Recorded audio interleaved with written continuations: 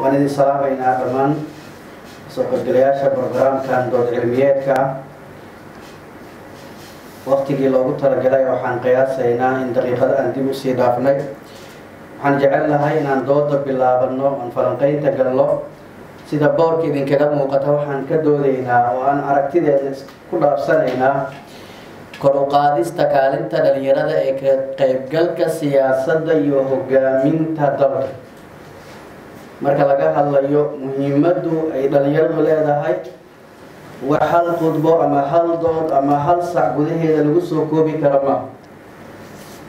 Waxaa tusaale inoogu filan marka aan ka soo bilowno nabiyina moxamed calayhi salaatu wasalaam awalu safiiru fi lislaam wuxuu ka dhigay wiil dhalinyaro ah oo lix iyo toban jira muscab ibnu cumayr wuxuu u diray magaalada madiina oo dhib badan uu ka jiray kala qoqobnayd qabiilo kala duwan deganaa. Aws ay gees degnayd khasraj ay gees degnayd yuhuuddana ay gees degnayd muscab ibnu cumayr oo lix iyo toban jir uu nabiga calayhi salaatu wasalaam u diray. Zayd ibni xaarisa isagana sidoo kale waa naqaanaa isagoo dhalinyaro ah oo da-yara ayuu muslimiinta hogaamiyey duulaamo fara badan u hogaamiyey. Muhiimaddu marka ay leedahay dhalinyaronimada iyo in laga faa-iideysto sida sanna looga faa-iideysto waxaan soo koobi karna maaha laakiin waxaan rabnaa muhiimadda aan ka leenahay aragti isdhaafsigana wuxuu yahay inaan barano sida maxaa la aan ula hadli karno ula doodi karno baahiyeen aan u bandhigi karno inaan waxqabad leedahay aan banaanka soo dhigi karno awoodda gudaheena ku jirta in dalka u baahan yahay inuu nooga faa-iideysto dad fara badan oo dhalinyaro aan la ogeyn daaqada gudahooda ku jirta ee la qarsanaayo waxaan aada iyo aada ugu mahad celinayaa oo baanalka caaweyna la jooga. Haddaan ka soo bilaabo dhanka wasiir maxamed saciid cabdulaahi wasiir ku-xigeenkii hore ee wasaaradda caafimaadka xildhibaan ka tirsan baarlamaanka federaalk ee soomaaliya labada kun todobiyo tobankii ilaa hadda xildhibaan ah. Waxaa ku xiga gacantiisa bidix fadhiya xildhibaan cabdixakiin macalin axmed xildhibaan ka tirsan baarlamaanka federaalk soomaaliya wasiir hore ee maamulka galmudug ka tirsan xubinna ka ah ban african parliament ama baarlamaanka africa xubin muhiimana markaa ka ah xildhibaan sidoo kale waxaa inala jooga inaad aada wada taqaanaan dhalinyarada soomaaliyeed gaar ahaan dadka muqdishona ay wada yaqaanaan activista ah xasan mudane bara jaamacadeed associate director macadka cilmi baarista ee haybad. Waxaan jeclahay marka inaan doodeena galno qof walba marka aragtidiisa ayuu cabiraya su'aalahaan rabno inaan xildhibaanada iyo wasiirada iyo martidana la joogta si cilmiyeysan inaan cilmiyeeno dadkaan isku keennay waa dad academic ah laga soo xulay jaamacadaha dalka macaahidda ugu sarreeya dalka ku yaalla aan ku tuhmayno in dooda ay ka hadlayaan ay wax dhisayso dooda aan rabno inaan caaw qabanno waa inay noqota dood wax dhisayso waxaa tusaale kale inoogu filan banalka dadka inoo fadhiya xildhibaanada iyo wasiirada dhammaantood waa academic waan ognahay laba boqol toddobaatan iyo shan xildhibaanada lama wada sinna. Dadka aan islahayn ama aan u arkaynay ka shabeelle t v ahaan doodaas dhalinyarada way qancin karaan ra'yigooda iyo aqoontoodana way ku kordhin karaan. Raggaan idin hor fadhiya noqdeen aad baan ugu mahad celinaya mudane aad baan idin soo dhaweynaya. Waayahay waan bilaabaya waxaan midigtaan ka soo bilaabayaa dhowr su'aalood markaan isweydiino kadib waxaan u celinaynaa dadka barnaamij ka qayb qaadanaya. Xildhibaan maxamed saciid aan qabaa door noocee ah ayay dhalinyarada ku lahaayeen hogaaminta ka hor hogaaminta dalka ka hor burburkii dalka. Hogaaminta dalka door noocee dhalinyarada ku lahaayeen burburkii dalka ka hor. Ah, bismillaahi raxmaan raxiim oo wada salaamantiin dhammaantiin. Waxaa sharaf weyn ii ah inaan ka soo qayb galo dooda noocaan oo kale ah. Waxaa xaqiiqo ah in dhalinyarada soomaaliyeed mise dhalinyaro ummad walbo dhalinyaradeedu ay lafdhabar u tahay horumarka ummadaasi haddaan u soo laabto su'aasha waddankayaga intuusan gumaysiga ka tegin ka hor waa tan aan ku faano in saddex iyo toban dhalinyaro ay isu yimaadeen ay aas-aaseen urur dhalinyareed oo run ahaantii maanta aada moodid inay naga horumarsanaayeen oo aan qabiil iyo arrintaana ay isku dooranin oo soomaalinimo iyo inay u halgamaan xorriyadda waddanka ay bilaabeen. Awoodda dhallinyaradu awood la dhayalsan kara ma ahan. Waa awood ummad walibo ay leedahay oo haddii ummaddaasi dhallinyaradu ay u istaagi weydo ay run ahaantii ay adag tahay in ummaddaasi ay horumar samayso. Mise waxyaalaha ay yoolka iyo hiigsiga ay yeelanayso ummaddaasi. Ha noqdo in gumaysi layska xoreeyo ha noqdo ha noqdo in horumar la sameeyo ha noqdaan har noqdaan maxaan rabaa in tartan lala gala adduunka kale. Intuba marka dhallinyarada doorka ay ku leedahay ummadeedii weeyaan. Markaan u soo laabano dagaalka ka hor ayaa su'aashu ay ahayd. Run ahaantii haddaad la socotaan dowladdii kow iyo labaatanka sano waddanka haysay waxay udub dhexaad u ahaa waa dhallinyarada. Xisbiga waagaas jiray ka soo qaad waxaa ordayay ayagay ahaayeen. Ololayaal jeer dhan oo guud ahaan ee dowladdaasi lixdan iyo sagaalkii ilaa iyo sagaashankii especially tobanka sane ugu horreeyey ee run ahaantii aadka u shaqaysay. Ee africa oo dhan gacan loo taagayaan dhihi karnaa oo meel walibana run ahaantii la ogaaday in ummad hadday go'aansato inay wada dhaqaaqdo ay dhaqaaqi karto oo ay ahayd ololihii soomaaliya oo dhan laga hirgeliyey oo tuulo walba gaaray oo ahaa ololihii ololihii waxbarashada reer guraaga mise reer miyiga ilaa iyo hadda waddan aan dhihi karno sidaasoo kale ayuu guul noocaasa u gaaray. Ay yar yihiin hadday jiraan runtii. Waddan luqaddu ay cusub tahay. Isla mar ahaantaasi dad qaabka ay u dhisan yihiin uu yahay qaab qabiileed. Isla mar ahaantaa dowladdaasi waqtigaasi ay ku guulaysatay in midka ka yimid hargeysa uu ka shaqeeyo baydhabo kan baydhabo ku dhashay mise joogayna uu hargeysa ka shaqo galo. Dhalinyaro wada da-da aada idinka maanta tihiin iyo idinka yar bay ahaayeen. Run ahaantii waxay ka geysteen baal dahab ah dhisita mise nidaamkaasi waqtigaa tobanka sano guulaha uu gaaray ha noqdo. Guul dhinaca dhaqaalaha ah dhinaca bulshada iyo isdhexgalka ha noqdo guulo dhaqankii oo la soo nooleeyo. Ummadii oo run ahaantii luqadii isla wada baratay ha noqdo. Ha noqdaan military marka la yidhaahdo dagaal aan galnay. Waa dagaalka ilaa iyo hadda aan ka sheekayno oo aan etoobiya oo aad maanta boqol iyo afartan boqol iyo toban iyo afar milyan ah oo waagaasi inta cadad ahaana ay ku dhaweyd lixdameeye ku dhaweyd. Oo annagii waqtigaana cadadkeenana aanu ognahay oo inta badan aynan ka hadlin laakiin aada u yaraa marka mar haddii dhallinyarada especially dhallinyarada soomaaliyeed oo annaga aan ku aragno mise aan aaminsannahay energy zaa'ida inuu ku jiro haddii energygaasina loo jiheeyo dhinaca saxda ah lagu guulaysan karo. Haddii dhinaca qaladkaa loo jiheeyana waa energy aada u xoog badan oo wax burburin kara. Marka dowladdaasi waxay garatay tobanka sane ugu horreeyey sidii dhallinyaradaasi loo jihayn lahaa run ahaantii guulo badanna way ka soo gaartay ururaa dhismay xisbiyaa xisbi baa dhismay dowlad baa dhisantay ciidan baa dhismay. Intubana haddaa fiirisaan hogaankooda waxaa hayay waxay ahaayeen dhallinyaro oo sektarada oo dhan mise hay'adihii waqtigaasi dhisnaa ee wasaarada ha noqdaan mise hay'ado kale oo maxaan dhahdaa dowladda u shaqeeyo mise dowladda ka madax banaan ha noqdaan waxa wada hogaaminaya waxay ahaayeen wada dhallinyaro. Marka awoodda ay ka faa'iidaysatay dowladdaasi awoodda dhallinyarada ay ahayd.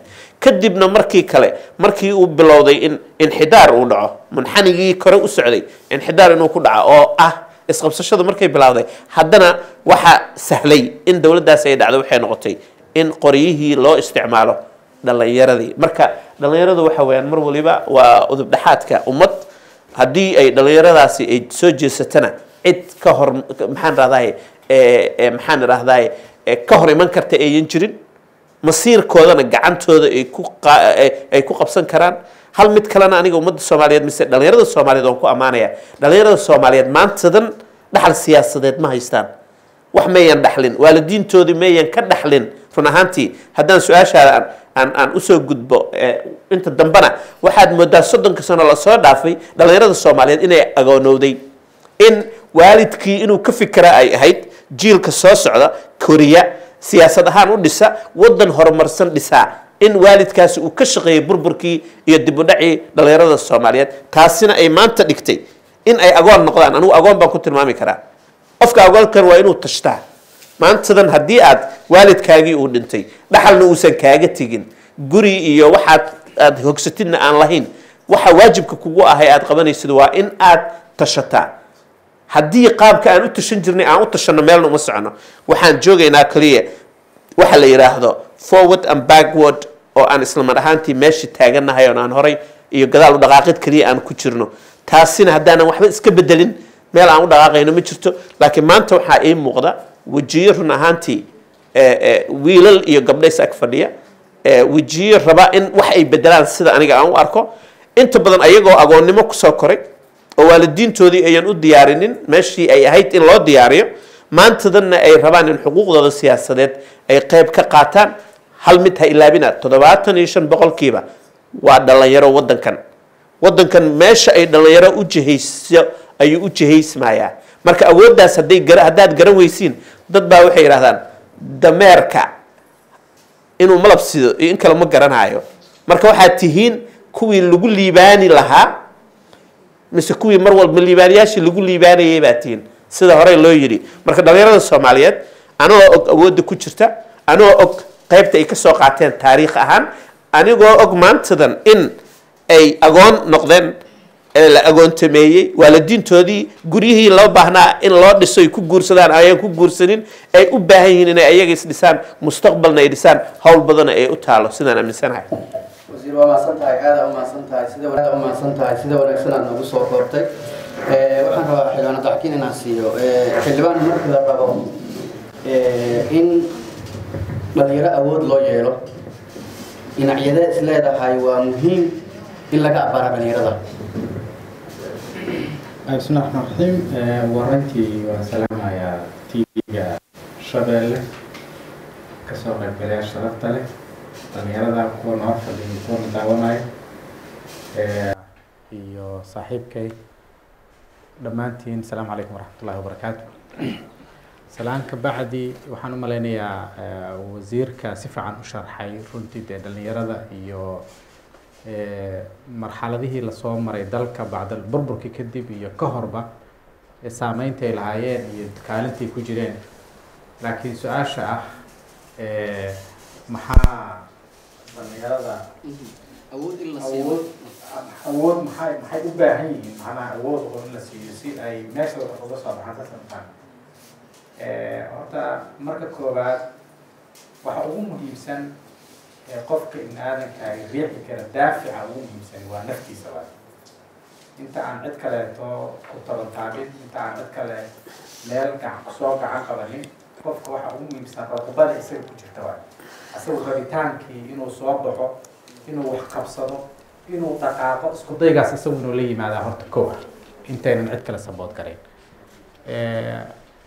dhalinyarada waxyaabaha ugu muhiimsan ee ay wax ka qaban karaan hadda marka la fiirsho dalkeena oo aada maaragtay runtii marxaladda dal dhalinyaradu joogto mustawaha dhalinyaradu ay joogaan aqoonta ay leeyihiin numberka ay mujtamaca ka yihiin iyo dowladihii kala dambeeyey sida ay iskugu dayayeen inay baahidooda u daboolaan laakiin aynan u dabooli karin isma isma kafargaraynayso mujtamac boqolkiiba toddobaatan iyo shan hadda sida wasiirka sheegaya dhalinyaraha laakiin haddana budgetkiisa ama miisaaniyadda dalkaasu ay ay one billion ka yar tahay ama ay half million iyo wax lamida tahay.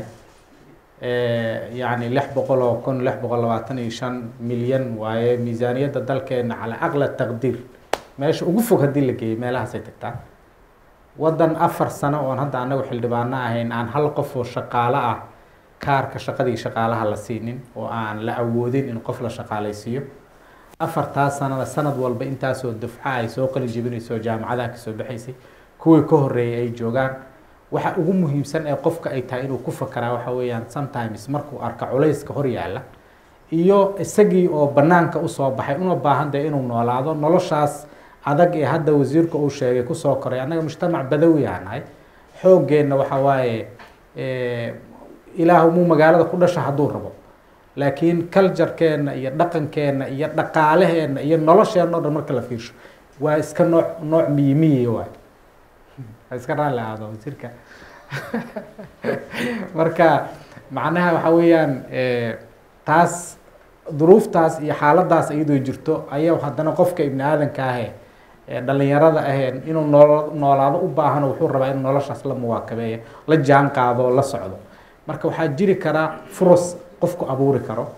Furas kale oo uusan dowlad isagoon gacan ka isku day uu samayn karo. Organizationno la sameeyo dhaqdhaqaaqyo la sameeyo waxyaabo yar yar oo laga yaabo markaas adiga inaysan agtaada macno weyn maalintaas ka sameyneynin annaga dee beledkan oo laftarkiisa dagaal ka jiro oo maalin walba la isku dilaayo oo xabaddu meel walba ka dhacaysa aan dhalinyarana ka soo ahayn soo joognay ku soo nooleyn magaalada muqdisho aan wada joognay organizationno iyo ururo dhalinyaraan aan aan abuurnay oo aan ka shaqeyn jirnay oon hor ordi jirnay. Mar magaaladan oo dhan dee la yaqaano qofkii dhaqaaqaba ama qofkii ordaba la garanayo oo aan dee sharta ka shaqeynayn dadka sharta ka shaqeynaya aaday u badnaayeen. Laakiin haddaadba wax kale isku daydo waad soo muuqanayso isla markiiba waxaa laga yaabay in lagu arko hadda fursaduna way ka badan tahay jaanisku wuu ka badan yahay dadka saboodka iyo gacan qabashada laga yaabo inay kuu fidiyaan wuu ka badan yahay aragtida iyo caqliga wuu ka badan yahay. Fursadaha aada heli karto ee aqooneed way ka fudud yihiin sidii markii hore xaaladdu ay ahayd ama xilliyadii dagaalku sokeeyaha uu waddan ka jiray siday ahayd aada uga fudud yahay. Waxaa laga yaabaa inaad qof gurigiisa fadhiyahay noloshiisa inuu xallin karo maanta oo uu si uun intuu internetkiisa galo wax isku xirxirto uu nolol abuuran karo. Adduun looma furnayn markaas. Marka furaska iyo qofku inuu wax noqdaahay horta. Laakiin dee aaladda ugu muhiimsan ay tahay inuu isticmaalo waa aqoonta. Qofku inuu wax barto waaye isagu uu meel iska soo saaro. Waxa ugu dhow iyo meesha ugu dhow wax ka baran karo inuu inuu wax ka barto waaye. Qofku inuu naftiisa ictimaado ilaahay ka sokow isku day isagu inuu la yimaadaa. Muhiim ah. Dowladnimada dee wixii laga rabo waxay ahayd inay furas abuurto. Matalan macaahid mihaniyahoo dadku xirfadlayaal ay ku baranayaan kuwa xataa aan shahaadooyinka rasmigaa helin ee aan waxbarashada tooskaa helin aan iskuulaadkii haleelin meelo kale oo ay fursad loogu abuuri kara inay jirtay ahayd. Waxyaabahaas oo dhami dee hadda duruufta iyo xaaladda dalkeena ku jira oo ficlan iyada laftirkeeda marka la fiiriyo. Meeshay ka timid iyo meeshii joogta marka la isu qiimeeyo mar walba uun uu jiro.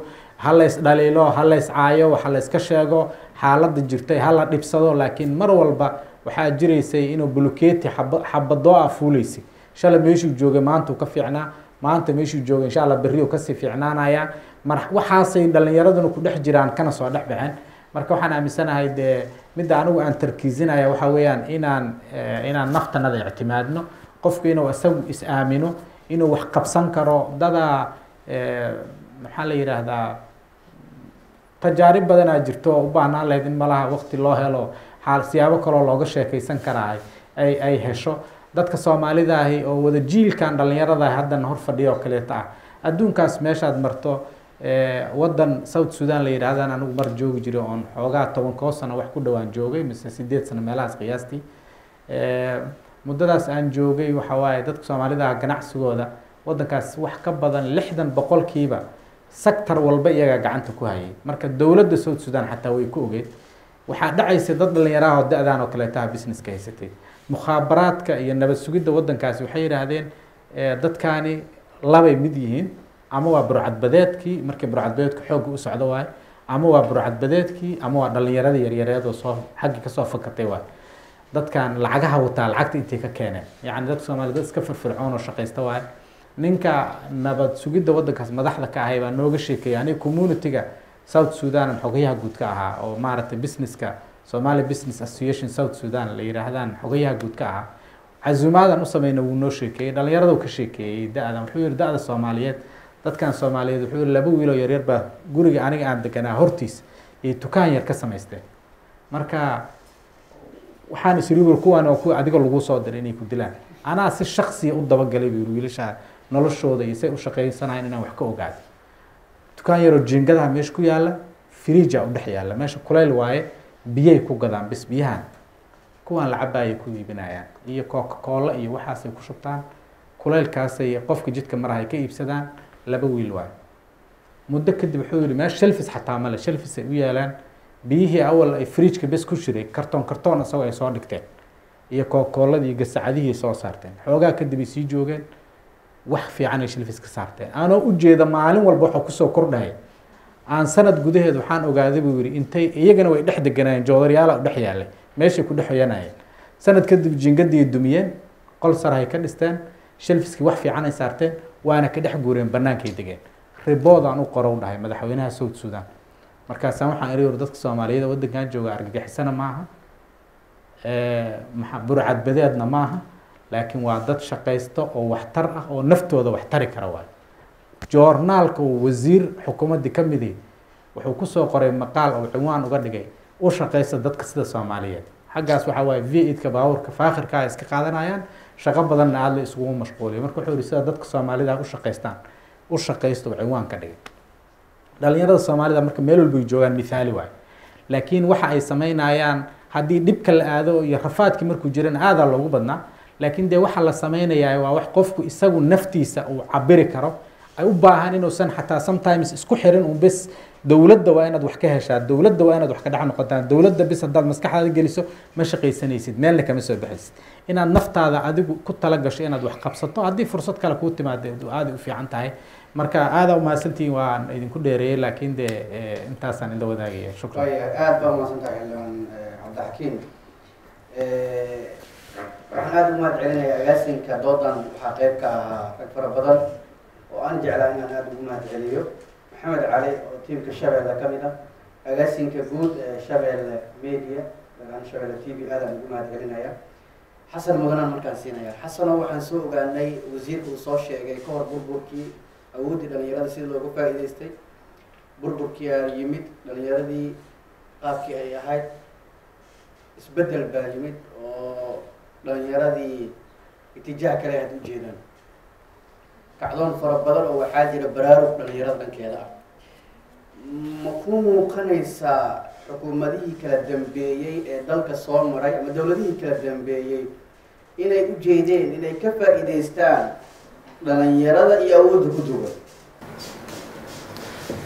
waa mahadsan tahay. Sidoo kale waa idinka mahad celinaa fursaddan qaaliga ayna siiseen. Ani horta intaan su'aashaada gudaha u gelin waxaan rabaa laba qodob inaan isla fahno si hadhow aan si qaldan loo fahmin. Midda kood waxay tahay horta dhallinyaradan ka hadlayno maxay tahay inaan isla aragno isla qeexno? Waxaa laga yaabaa sida aniga dhalinyaro ah maskaxda aan ugu hayo qaabkaan aan aan u qeexayo iyo dad badanoo meeshaan fadhiyo asxaabta baanalkaan ku wada jirno inay si kale u fahansan yihiin. Ani ahaanteeda dhalinyarada waxaan u fahansanahay inay tahay afartanka inta ka hooseysa inay dhalinyaro ii tahay. Waxaa laga yaabaa in qeexitaano kala duwan ay jirto. Marka anoo dhalinyaro ku celcelina hadday aragtiin. Afartanka inta ka hooseysa ay xisaabtan marka akhyaar badan oo aan waxaa waaye oo kontonka xisaabsanaysa ogaadaan liiska iguma jirto. Marka taas waa mid midda labaad maxay tahay ka qaybgalka siyaasadda? Ayadan wax yar inaan isla fahno marka aan leeyahay siyaasadda dhalinyarada ama ka qaybgalka siyaasadeed waxaan ula jeedaa caadi ahaan marka la qeexayo cilmiga siyaasadda oo kale waxay leeyihiin dadaal walbo ama dhaqdhaqaaq walbo qofka uu sameynayo uu rabo inuu siyaasadda ku saameeyo ayaa ka qaybgal siyaasadeeda waxaa laga yaabaa qaar idinka mida inay ka qaybgalka siyaasaddaba u fahmeen in kursi xildhibaan la raadsado.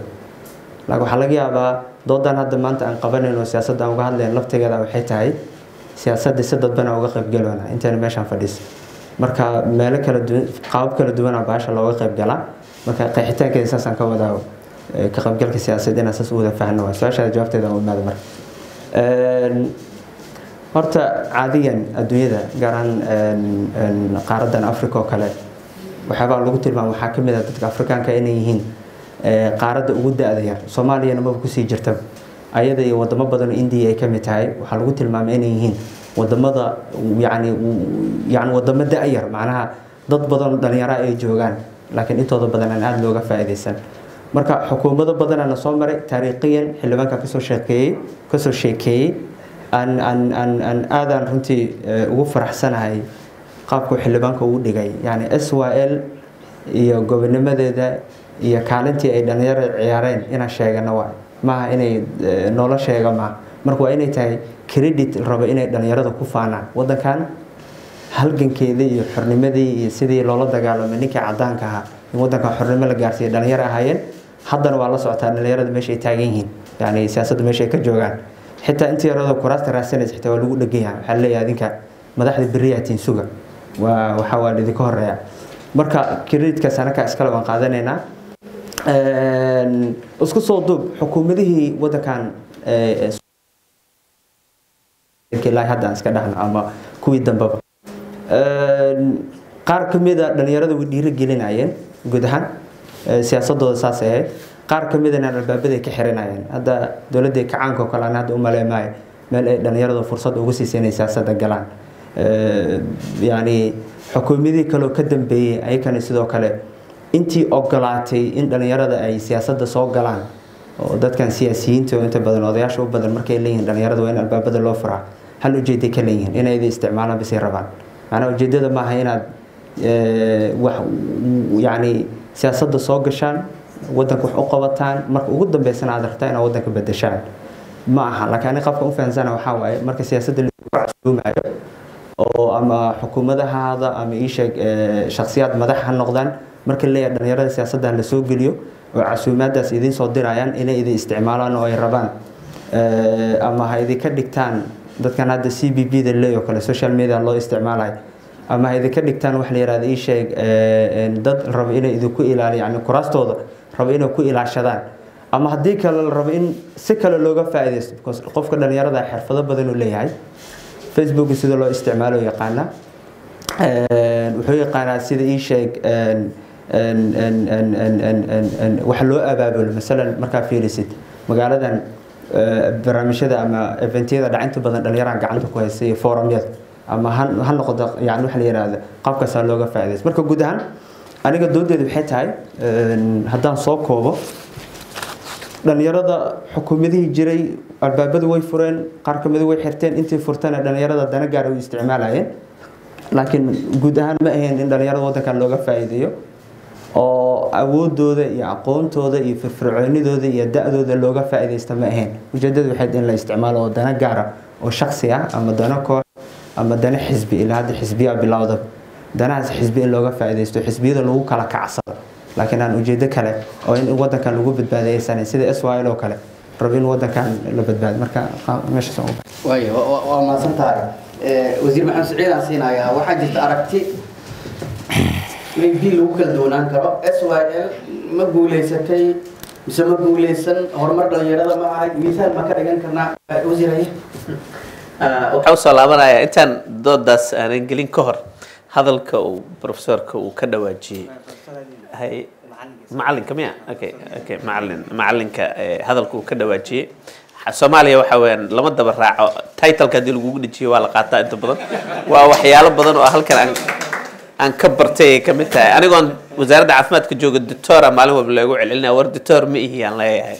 Marka waana waa wax soomaalida aad afkooda uu qabsaday. S y l dhalinyaray ahayd dowladdii lixdankaa dhalatay dhalinyaarnimadii ay ka baxeen. Way odayoobeen. Ma fahamte? Dhalinyaro kalaa soo baxday. Dowladdii kacaankaa timid. Dhalinyaro badan ayaa golihii sare iyo golayaasha dhexe oo dhan soo wada galay. Toban iyo labaatan sano kadib haddana way way weynaadeen. Dood dheeraa laga furi karaa sida janis uu jiilba jiilka ka horreeya uu siiyo ee raalligaada xoogaa yar dadka qaar inay ay israel dadka badankooda way dhinteen ilaah u naxariisto horta. Waxaan u malayaa dhammaantoodba inay wada dhinteen. Ee fikirkayga xoogaa yar wuu ka duwan yahay dadku siday u arkaan. Waa dad soo dadaalay bay ahaayeen dhalinyaro is abaabulay markay is abaabuleenna ku guulaystay inay xorriyadda keenaan. Xorriyadda kadib marka hawsha dhalinyarada u taalay ma qabsadeen. Mise dadkaasi xorriyadda dhaliyey ma diyaariyeen dhalinyaro kale الدولدنمدا مس سيفيك سيفيك ضد نولج ولا مس ضد الدولدنمدا عن أنجا فكر كده وحوي هاي بأينا نقولين أنجا وحن وحن دجنين جيلان راعيني قارنا براي فلاين قارنا وحيا هاين أنت ودحيسة شعب كانوا ما هين شعب أن كنت المامي كرنا تاريخيا تدكو فكر كده وكو كل الدبنان كرا لكن جميسي كهر أت أيو ويرا نظام كان وسترن كأ ee ha lagu magacaabo dimuqraadiyad ha la mise governing mise dowladnimo ha la yidhaahdo aad buu ugu liita fahamkeena anaga aad buu marka dhallinyaradeenii saddex iyo tobanka ahaa ma u diyaariyeen dhalinyaro wax maamuli karta mise fahamsan dowladnimada waa su-aal dad badan oo jaamacado hadda dhiganaya u baahan taariikhda inay discussion badan ay ka sameeyaan aniga fikirkayga laakiin hadday diyaarin lahaayeen meesha aan fadhino ma aynaan fadhin lahayn marka waxaan u soo qaadanayaa dhinacii kale aan u soo qaadanaya s y l waa ku mahadsantihiin walaalayaal howl badan baad qabateen laakiin maydan diyaarinin jiilkii kale ee idinka qaban lahaa hawsha idinka qaban lahaa idinka wareejin lahaa. Sidaas daraad may anigu fashil ma anigu fiiri marxaladaa jirtay. Marxaladii gumaysiga heerkii loo baahnaa israel way ka soo baxday. Marxalad kale u gudbeen oo dowladnimo. Marxaladii dowladnimo ninka u sareeyey madaxweynaha wuxuu ahaa israel buu ka yimid challenge-yada iman karaa in la predict gareeyo dimuqraadiyaddaas oo nagu cusbeed in la fahmi karo culture-ka iyo dhaqanka iyo soomaaliya ummad ahaaneed qaabka ay u dhisan tahay dadka siyaasiyiinta waqtigaas jooga ayaa waajib ka saaran inay fahmaan si ay u diyaariyaan platformiga kale ee lagaga dhaqaajin karo dowladnimadeena. Mar haddii sagaashankii ama lixdan iyo sagaalkii aan ogolaanay in dowladdii dimuqraadiyadda ay shaqayn weysay mise lixdan iyo sagaalkii aan u qaybsanay boqol xisbi aan u qaybsanay taasoo micnaheedu uu yahay fashil dowladeed oo aan fahmi weynay fekerka cusub ee dimuqraadiyadda ee westernka aan ka gaarnay mise wadamadii gumaysiga ay noo carbiyeeyeen oo aan la qabsan weynay haddaan taa meel dhigno lixdankii wuxuu ka tarjumayey ama lixdii sagaalkii waxa ay ka tarjumayeen ragga yimid ee askarta ahaa fashil dhacay فشلكاس سدوا ربها النقطة. قبيل قبيل بالسوقي بيلي راه الله فيه حق سمعنا دير ربان. وحوين أنت حسبي وقت جالس اسمه لحد يسقالكي إيه، سببي إن كعان ولا شو وحي أهين وح رنهانتي لقح شو هذا. بقول لك دواد بي أهين وحسبي أو مدولي بقبيل وتا مركب تام عنيد وحوين. وحان كفش المني mise lixdankii xorriyaddu qaadanay iyo dadkii hogaaminaya waxay ku fashilmeen inay diyaariyaan dhalinyaro fahamsan nidaamkan cusub ee dowladeed ee annagu aan u baahannahay inaan sii dhaqaajino waxay door ka qaateen dalka inuu xornimadiisa qaato cadowga heeryadiisa amnaa la iska ahayn taasi hadda waa marxalad kale ahayd marxaladda koowaad ee enerjigeennu aan wada gelinay inaan iska tuurno heeradii gumaysiga waa la gartay laakiin taa micnaheedu waxa weyn mid baan kuu sheegaya nin waxaa jiray ra'iisul wasaaraha waddanka ingiriiska waagii dagaalkii labaad ee adduunka qayb weyn ka qaatay dagaalka churchill la dhihi jiray churchill markii dagaalka uu ku guulaystay shacab wacyi leh baarlamaan fahmaaya dowladnimada waxay tahay saaxiib waxay ku yidhahdeen waqtigaaga wuu dhammaaday ra-iisul wasaarihii dagaalkaad ahayd ra-iisul wasaare nabadeed baan rabnaa ummaddii markaa meeshaasi bay jaan ka jaan qaaday maxaa yeelay taariikh faham siyaasadeed faham dowladnimo faham qofkani qof waliba mansibka iyo waqtiga uu ku munaasabsan yahay ayay yaqaanaan sidaas ayaana keentay in isbeddel uu yimaado oo la yidhaahdo yes waa guulaysatay hawshaadi waa qabatay waa ku mahadsan tahay laakiinse shaqada soo socotaa hawshaada maahan shaqo nin kale loo baahan yahay inuu qabto weyn annagu marka waxay ahayd raggii gumaysigii naga soo tuuray dowladnimadii qabtay inay diyaariyaan bay ahayd la yidhaahdo aad baa u mahadsantihiin hawshu waa qabsateen haddeer annagii ayaa diyaar u ah. Marka waxay i tusinaysaa aniga fashilka raggaasi ay fashilmeen maantadan in ayagu ay sabab u ahaayeen meesha aan joogno. Run ahaantii guusha aan sheeganayno ilaahay ajir ha ka siiyo ilaahay maxaan dhahdaa janno ha geliyo. Eh, laakiin xaqiiqda jirta waxa weeyaan eh, soomaaliya oo dhan baa fashilantay. Fashilkaasaana keenay in dhalinyarada soomaaliyeed maanta ay agoon noqdaan waxaan rabaa waa ka gudbaya su'aashaas ay s y l ay ahaayeen. Haddii ay guulaysan lahayd halka soomaaliya maanta ay taala aysan ooli lahayn dhalinyarada soomaaliyeed ma jirtaa cid aad isdhihi karto role model ayay u yihiin oo ay ku dayan karaan taariikhdooda dib hadday u akhriyaan siyaasaddii way ku soo guulaysteen ma jiri kartaa? Su'aashaadaan ku laabanaya si qalad inaad u fahamtay aan ka baqaya dhalinyarada s y l waa dad eh, halgamayaal ahaa waa dad soomaaliya magac ku lahaa. Sharafna agteena ku leh. Qiimaha ay lahaayeenna anigu wax kama dhimayo. Laakiin waxaan sheegaya hadalkayga wuxuu yahay saddex iyo tobankaas keliya ma ahayne marxalad baan ku jirnay ay hoggaan u ahaayeen dhalinyaro marxalad cusub oo governing baan galnay. Micnaheedu waxay tahay marxalad gumaysi aan hoostegayna waxaan kaga gudubnay marxalad cusub oo annagu inaan ismaamulna nahay mar haddii adiga gurigii furihiisa lagu siiyey inaan maamushadna ay tahay waa inaad fahamtaa furniturekiisa meeluu yaallo. Haddii aadan garanaynin adawaadkii guriga dhibaato ayay keenaysaa berito. Marka fashilka dhacay ee dowladeed ee aan nidaamka koowaadan qaadanay dimuqraadiyadda waa faham xumo annaga aan fahamsanayn biseel siyaasadeed oo aynan lahayn dartiis ayaa fashilkaa keenay. Ayaga keliya eedda ma lahane inta kale waqtigaa joogtay ee inta wax la cuntay ee iyaga ka horreeyey intuba qayb bay ka ahayeen burburkaasi. Waa maasan tahay xildhibaan abdixakiin aan siinaaya goordhow martida barnaamijka xildhibaane dhalinyaradii soo gashay siyaasadda burburkii kadib fursad ma u abuureen dhalinyarada kale ee aan fursad u helin in siyaasadda ay ku soo biiraan waxaan rabaa horta marka hore laba meel laba meel ay leedahay kale inaan laabto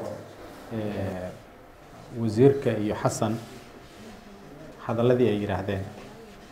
Mid waxa weeyaan horta ustaad xasan aan ku diidanahay nadariyat lmu'aamara iyo maxaa la yidhaahdaa dhallinyarada in dowladnimada la soo geliyo danaa laga leeyahay hadaas aada uma waafaqsani dhallinyarada dee waa siyaabo kala gedsanay dowladdu ku soo galaan mujtamac badanna way yihiin.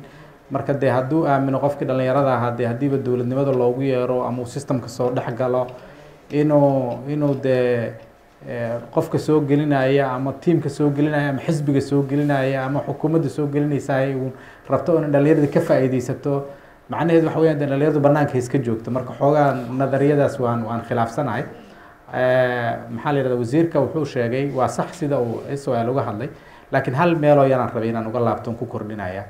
S y l marka aad shay qiimeyneysa waa inaad ku qiimeysaa waxa uu heli karay horta waa inaad ku qiimeysaa. Saddex iyo tobankii wiilo s y l maxay ahaayeen horta? Mustawe ahaan aqoon xaggee ka joogeen. Hal qof oo jaamacad ka baxay maku jira walaa waaxid. Dadaan wax baranin oo aan aqoon lahayn oo xoolahoodii iyo dadkoodii iyo deegaankoodii dhex jooga kaliya ay dhibtay waxa ay arkeen ee ka dhiidhiyey bay ahaayeen. Marka dee mustawaha ay joogeen ficlan waa saxan yahay wasiirka laakiin maba laga sugeynba dee. Inay inay dowlad wanaag dhisaan. Halganka waa ku guuleysan kareen waana ku guuleysteen. Laakiin lagama sugaynin iyaga inay dowlad wanaag dhisaan. Dowlad oo adag inay dhisaan inay jiil dambe u gudbiyaan midna waxaan malaynayaa dee waajibkooda ma noqon karin leanna maba maba awoodin mutaaqadaasi awooddaas ma lahayn. Iyaga markay soo gudbeen oo dowladdii la dhisay ee dowladnimadii dhisantay ee axsaab abuurmeen ee sultadii iyo siyaasadii dad ay qabteen kuwa qabtay laftirkooda kuwa qabtay laftirkooda nin odayahoo guddoomiyihii baarlamaankii xilligii sheekh mukhtaar ayaa anigii iga sheekeeyey marxaladaasaan kala sheekaystay. Wuxuu yidhi dee horta wax aqoonii ma jirin. Dadka reer waqooyiga ah oo xagga ingiriiskaa kumaystay ayaa xoogaa ingilishka yaqaanay. Marka waxaan u haysanay buu ugu yidhi ninkii ingilishka ku hadlaabay inuu aqoon yahay. Marxalad noocaas ay ku jireen fiiri ingilish ku hadla ingilishku waa luqad mogta waa soomaaliga ad ku hadlaysa oo kale. Aqoon iyo cilmi kamuu turjumo. Marka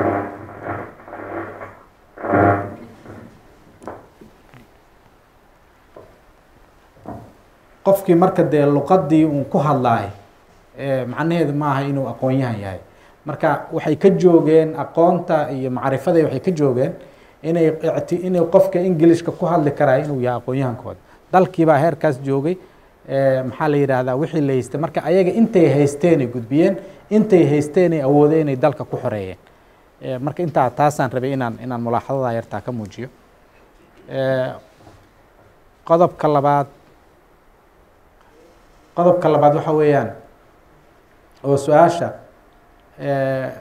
waxaan u fahmay dhalinyaradii siyaasadda soo gashay ee dowladda soo dhex galeen ma fursado ma u abuureen.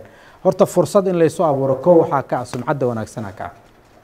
Waxaa ka ah inuu qofka dowladda soo galaahi inaanu laalush qaato noqonin inaanu siyaasadda ku ciyaarin inuunan arsaaq u soo gelin oo nolol ka raadin inuu matalaada iyo meesha uu joogo iyo xafiiska uu joogo si fiicanna u jilo. Taasaa waxay keenaysaa mujtamaca ay isku ajka yihiin dhallinyarada ah ee bannaanka joogta inay dhiiri geliso waxa wanaagsane halkaas yaalla. Wasaaraduu tegey si wanaagsan u maamulay. Xildhibaanuu noqday si fiican u maamulay. Agaasimuu noqday si fiican uu shaqaduu joogay oo u gutay. Musuqiyo iska ilaaliyey xoolihii dadkuusan dhicin. Wuxuu ka shaqeeyey wax wanaagsan codkiisuusan gadanin oo uusan suuqa geysanin. Marka uu intaas ku sifoobo macnaheedu waxa weeya mujtamaca waxaa la mid ah gabdhaha la mid a oo baarlamaanka soo galaya dadka la tasniifiye fi-aadkaahi ama haweenka la dhaho ama dhalinyarada la dhaho waa isku wada mid. Kuwooda siyaasadii tegey ee xukunkii ka qeyb galay haddii ay si fiican oo wanaagsan meesha ay joogeen ay u matalaan macnaheeda waxay abuureysaa dad wanaagsan iyo iyo maxaa la yidhaahdaa shaqo wanaagsan ay abuureysaa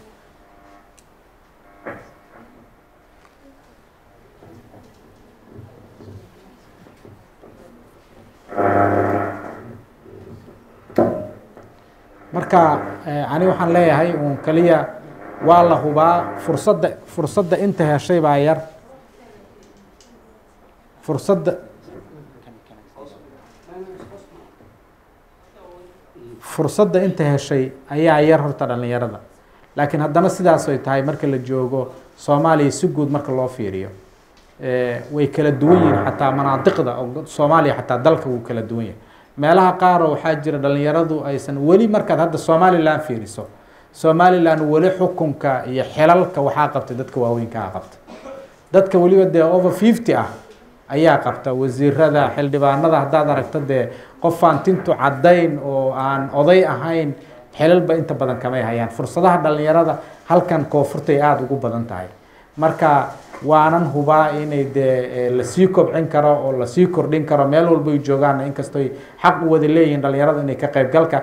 Laakiin dee ka qaybgalka siyaasadeed kaliya sida uu sheegaya xasan aan ku waafaqsanayo ka qaybgalka siyaasadeed kaliya maaha manaasibta iyo xilalka waaweyn ee dalka in la qabto kaliya maaha ee ka qaybgalka siyaasadeed waxay noqon kartaa innaga mushkilo waxaa jirta aan qabno oo qofka wuxuu rabaa inuu maantay iyo caawa iyo berri subax uu isku noqdo nadaafadda iyo madaxweynaha inuu ku gaaruu rabaa. Hal asbuuc inuu wax walba dowladnimadii salka uga baxuu rabaa. Waxaa dhici karta qof inuu hadda raadsho xil weyn wasiir oo kale u raadinaya matalan in asagoo labaatan jira ama shan iyo labaatan jira ama soddon jira wasiir laga dhigaa dhici karta laakiin dee xilalkan soomaaliya aad aragteen sanadka iyo bilaha iska wada ah marka lagaa qaado protocol aad yeelatay wasiir aad noqotay xaqaa'ib kaleeto aadan hoos ugu degi karin shaqooyin kaloo badan oodan qabsan karin ayaa soo baxaya. Marka caatil aad noqonaysaa nin aan shaqo haynin ama gabar aan shaqo haynin oo baagamuudaha aad soo baxaysaa baynamaa ay ku fiicneed dee dowladnimadu tasalsul inay hesho oo qofka dhallinyarada ah meesha uu ka shaqayn kara u munaasabkaa inuu u tago. Kadibna waxaan xasuustaa ciidamadaa la mid a nin walbaa janan uu raadinayaa. Dadka dhan waxay rabaan in garbaha loo wada gaduudiyo asagoo labaatan jir rabaa inuu janan noqdo. Laakiin markuu janan noqdo shaqooyin badan ee ciidanka dhexdiisa uu ka qaban lahay uusan qaban karin uu ka tillaabsaday oo uu ka gudbay. Marka fursadiisuu yaraynayaa qofkaanu marka uu xilka weynka oo u sii ordaya marka aaday aaday u habboon tahay qofkuna inuu xadkiisa yaqaano mustawihiisa inuu socdo in dowladnimada la galaahi waa wax wanaagsan. Dadkana barefat sectorka in xoogga la saarana aaday muhiim u tahoon. Halkaas kaliya la aadan waa maasan marka waxaa aaminsan tahay dhalinyaradii adiga baad qeyb ka ahayd ee burburkii kadib siyaasadda ku soo biiray inaad fursad u abuurteen dhalinyarada kale ee waxbartay aqoon-yahanada ah laakiin fursadda majaalka siyaasadda aan weli soo gelin waxay noqon kartaa cagsiga. Inaanaan abuurinna way noqon kartaa leanno waxay ku xiran tahay horta dee waxa meesha wax laga abuurayay iyo waxaan haysanay iyo waxa la awoodaa taan hadda ayta ka sheekeynayo waaye. Dowladnimada lagu dhex noolyo o dhanaa midda ay joogta annaga hadda afar sanaan xildhibaan nahay aniga iyo wasiir maxamed saciid.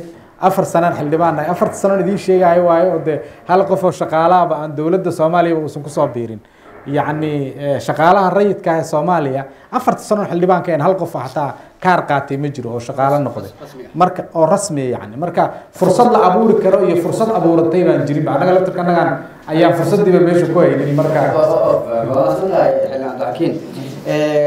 waxaan siinayaa xasan waan ku celinayaa xasan dhalinyarada siyaasadda way soo galeen hogaankii ay qayb ka noqdeen baarlamaankii ay ka soo muuqdeen golihii wasiirada ay ka soo muuqdeen waxaan isku waafaqsannahay oo aan hadda isku sheegnay in hadda ka hor ay ahaayeen dadka odayaasha ah ama dhalinyarada aan loo ogoleen majaalka inay soo galaan. Markii ay soo galaan wax cusub ma soo kordhiyeen. Dadkii hore wax ka bedelan ma la yimaadeen. Ma tuseen dhalinyarada in doorkeedu uu yahay. Soo dhowo su'aashaada oo kooban waa maya taas markaa meesha uga gudba waxaan rabaa inaad dib ugu laabto xildhibaanka meel yaroo ka dhawaajiyo arinta ah ka qaybgalka siyaasadeed soo u sheega waa xildhibaanka. Waxaa laga yaabaa inay anaka nooga dhegan tahay kursi in la raadiyo laakiin waxaa jira habab kala duwan oo looga qaybgeli karo. Mar xildhibaanka uu yani ani markaan hadlayo kale aan leeyahay siyaasadda markii laidinku casoomayo xisbiyadaa la rabaa in laidinku kala kacsada iyo facebooka maahan wax kale ma jiraan. Waxaan ka hadlaya intentionka macnaha ujeedada dadka siyaasadda dhalinyarada ugu wacay. Laakiin caadiyan caadiyan qofka dhalinyarada siyaasadda uu ka qaybgeli karaa asagu uusan kursi raadinayn ama dowladdan uusan ka tirsanayn. Example hadda meelaha oo laga sameyn kara ka qaybgalka siyaasadeed oo aad aan dhalinyarada ugu dhiiragelina waxaa ka mid ah wax la dhaho social activism ama mucaaradnimada bulsho hadda wadankan nigeria waxaan rajeynaya inaad la socotaan wararka nigeria. Masala hadda nigeria eh, dhalinyarada way kacaysaa waxaa jira hashtag la bilaabo leeyahay indesires ciidamo gaaro dowladda nigeria ee leedaha lagu kacay because dhalinyarada ay dilaan. Marka dhalinyarada waxay dalbanayaan mudaharaado waaweyn magaalada ka dhigtay waxay leeyihiin ciidankaas ha la kala diro markaa fiiris awoodooda iyo saameynta ay leeyihiin iyo dhaqdhaqaaqa ay sameynayaan marar qaar xitaa meelaha go'aanada laga gaaro oo madaxda dowladda warkaas gaara. Kadibna waxaa laga inay aragtidooda bedelaan oo dhalinyarada la dhegeysto oo ay markaas isbeddel ay sameeyaan dhinacaas waa laga bedeli karaa siyaasadda waana laga qaybgeli karaa waa meesha aniga dhalinyarada aan ku dhiirigelin inta aysan siyaasadda ku ordin kursi raadin marka hore ha isdhisaan ha isdiyaariyaan aqoon badan ha yeeshaan wax badan ha bartaan dowladnimada ha fahmaan inta ka horeysan ha sameeyaan social activism waxaa kaloo ka mid ah waa dhamaystirba qaababka kala duwan oo looga qaybgalaa siyaasadda oo aan ahayn inaad kursi xildhibaan raadsato maahan qaabab kale mucaaradnimada marka laga soo tago social activismka waxyaabaha kaloo la sameyn kara waxaa ka mid ah yacni xildhibaanada dowladda ku jira oo kale ama dadka madaxda inta dhalinyarada ay la kulmaan ayay cadaadis ku saari karaan in ay cadaadis waxaa lagu saari karaa xildhibaanada inay wax ka qabtaan mushkiladda markaas taagan bulshada saasaa lagu bedeli karaa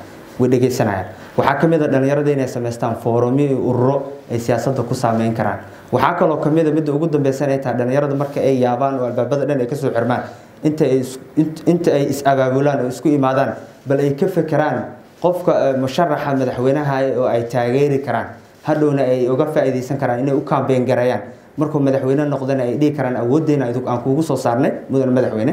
Waa inaad wadankan wax ka bedeshaa dhalinyaradana waa inaad u sameysaa shuruuc iyo waxyaabo badan oo danahooda ilaalinayaan. Dhinacaas waa laga sameyn karaa siyaasadda waa looga qaybgeli karaa. Marka marka aan sas dhahayo ahayd waxaan ka waday keliyaan kursigaas la aadin laakiin dhinacyo kale oo looga qaybgeli karaa jira hala raacday saas ahayd waa mahadsan tahay. Isla su'aashaas oo aad maya ku soo koobtay wasiir maxamed siciid dhalinyaradii kuraastii heleen way ka qayb noqdeen way ka soo muuqdeen wax cusub ma soo kordhiyeen. Ee, fikirka dhalinyarada waxa weeyaan ee, me- horta meel meelo badan oo laga muujiyaa jira. Ee, baarlamaanka ilaa iyo hadda uma malaynayo xildhibaankana guddiga dhalinyaradan waxoogaa waa ka gudbeeyay in in maxaan idhaahdaa guddi dhalinyaro oo active ah uu jiro ilama ahan. Sababo badan baana jira. Horta xaqiiqdaba mid weeyaan Ee, afartan sano ninkani walaalkeena ah macalinka ah ku magacaabay in dhalinyaro wixii ka hooseeya ay afartan yihiin sababtu maxay tahay horta mis weydiisan afartanka wuxuu u qabsadeen uma aqaan. Laakiin sideeda sideeda markaa fiirisid qofka garaadkiisa afartan sano markuu jiro wax badan baa iska bedelaya inta kale koriin buu ku jiraa. Idinku horta dowlad barashada mise kufitaanka dowladnimada soomaaliya ee dhowrka jeer kuftay waxa keenay waa maxay? Ma garanaysaan? Waxa keenay waa fudaydka. Waxa keenay waa aragti fog la'aanta. Waxa keenay waxa weeyaan maantadan ayaan joogaa maantaan rabaa inaan wax walba gaaro dhalinyarada soomaaliyeed marka fikirka inay wax ka bedelaan weeyaan waa inay ka bedelaan ay yidhaahdaan aan koro aniga markii garaadkaygu uu kaamil noqdo afartanka aan gaaro waa waa hadda sunnadii rasuul sal alay wasalam weeyaan nebi maxamed waa la korinayay ilaa afartan uu gaaro risaaladii markaas ma ilaahay aan anaga kaga aqoon badan nahay arrinta bini aadanka maya marka hal mid aan isku sheegno dhalinyaradu maanta way ka dhex muuqdaan goobaha siyaasadda golaha wasiirada ha noqdo golaha. Laakiinse ma ku dhahayo anigu mana reebayo qof diyaar u noqday wax technical ahaan qabanaya waa diyaar waxba ma diidayno. Laakiin afartankuna ma dheera weli dhalinyaraa tihiine ilaa afartanka aan isla gaarno. Afartanka ka horna aan iskorino maskaxda aan korino ee, ee, midda koowaad ee xisho in laga xishoodo qofku u baahan yahay. Mansibka markaad u ordaysid waa in uu jiraa adiga waa inay horta marka hore isweydiisaa su'aashu. Mansibka aan doonanayo ما يهي مد أن قابك إيه فكر كأدونك وكقبو أنا جانا أن قاضي كرو مس أنا وإكا مركا أنت أسلو أجا نقف ولي بمرك أجا أبو دي سو حيتا أيان هرت الغاقي كرنا. تد إله جينيس كن جي باجرة أو إله عقل جزائد وكن جي شن تونسنا يجو جري جا مع ذا لما يان. كوي تونسنا كوي جرو بي إتش دي سايست أدونك أجرة تام معنى هذا ما أهن hogaamin iyo ma ahan hogaaminta iyo bulsho la hogaamiyaa sheekadeeda way ka duwan tahay. Dhalinyaradu qayb bay ka tahay. Dhalinyaradu waxay awood u leedahay toddobaatan iyo shantaas boqolkiiba inay hogaamiso. Toddobaatan iyo shantaas boqolkiiba. Macalinka siduu sheego weeyaan idinka ayaa ah dadka hogaanka haya dadka direct garayn lahaa dadka jihayn lahaa dadka hogaanka haya waa idinka hadalka aad hashtagaasood beri samaysaan ayaad wax ku kala bedeli kartaan marka awoodda aad leedihiin ha naaqusinina ha ku ekaysiinina wasiir keliya waad ka awood badantihiin maxaa yeele idinkaa wasiirkiina hagi kara madaxweynihii hagi kara iyo dadka kale hogaanka haya idinkaa hagi kara annagaa marka waxaana looga baahan yahay dhaqankeena siyaasadeed dowladnimo iyo qaabka aan u fikrayna wax badan ka bedelno dhalinyarada waa cududa ugu muhiimsan ee ummad waliba haddii afartan ilaa aan gaaro aan u sugo inaan siyaasad qabto inta ka horeysana aan tababarto waxaan noqonayaa oday wanaagsan berito. Haddii afartanka uu waqti badan uu idinku yahayna dee dhicis un baa noqonaynaa haddana arintu arintu arinta waxaan rabaa inaan ku celiyo mar kale.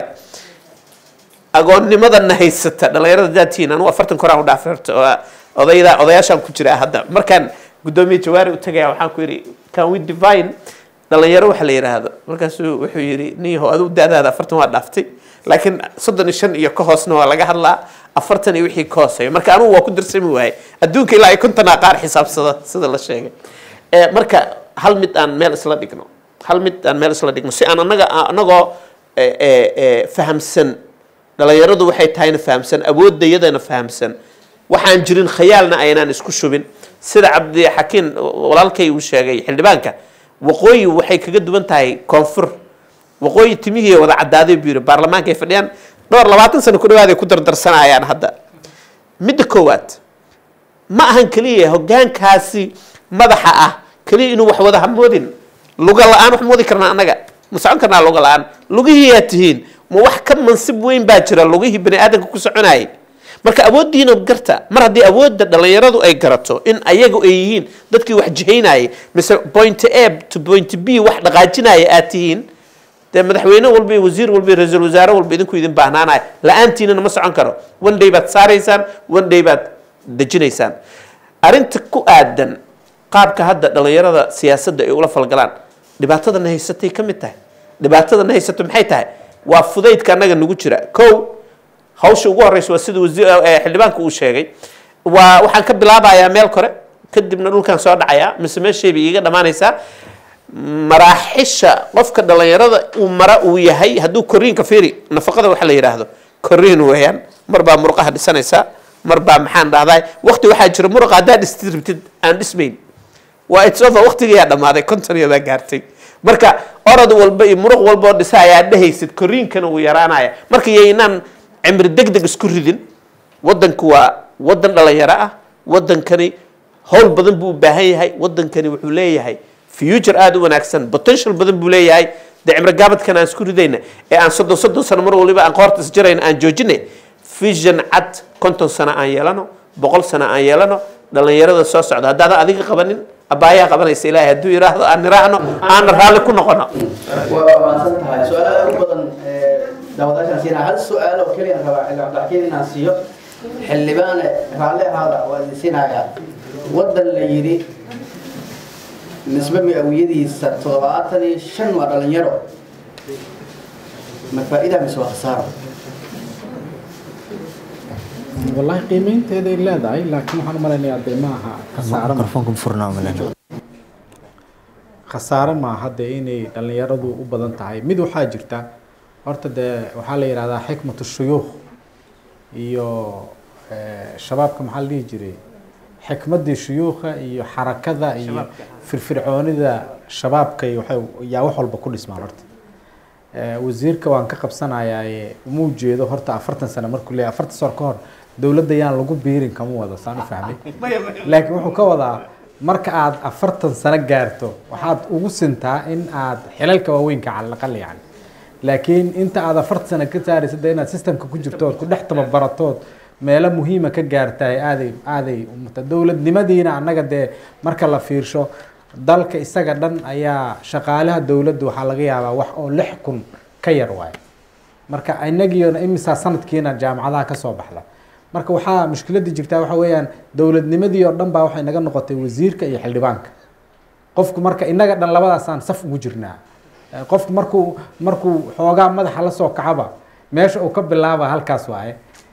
Wixii kaloo dowladnimadii ahayd iyo macnihii kale laakiin aniga tan iiga muhiimsan waxaa weeyaan oo aan hal meel meeshaas uga laabanayo. Hadda wadanka markaad fiiriso ma jiro dhalinyaradu sida ay seventy five mujtamaca uga yihiin nashaadkooda uma muuqdo. Yacni ururo dhalinyaro ma muuqdaan oo xoog leh oo saameyn leh.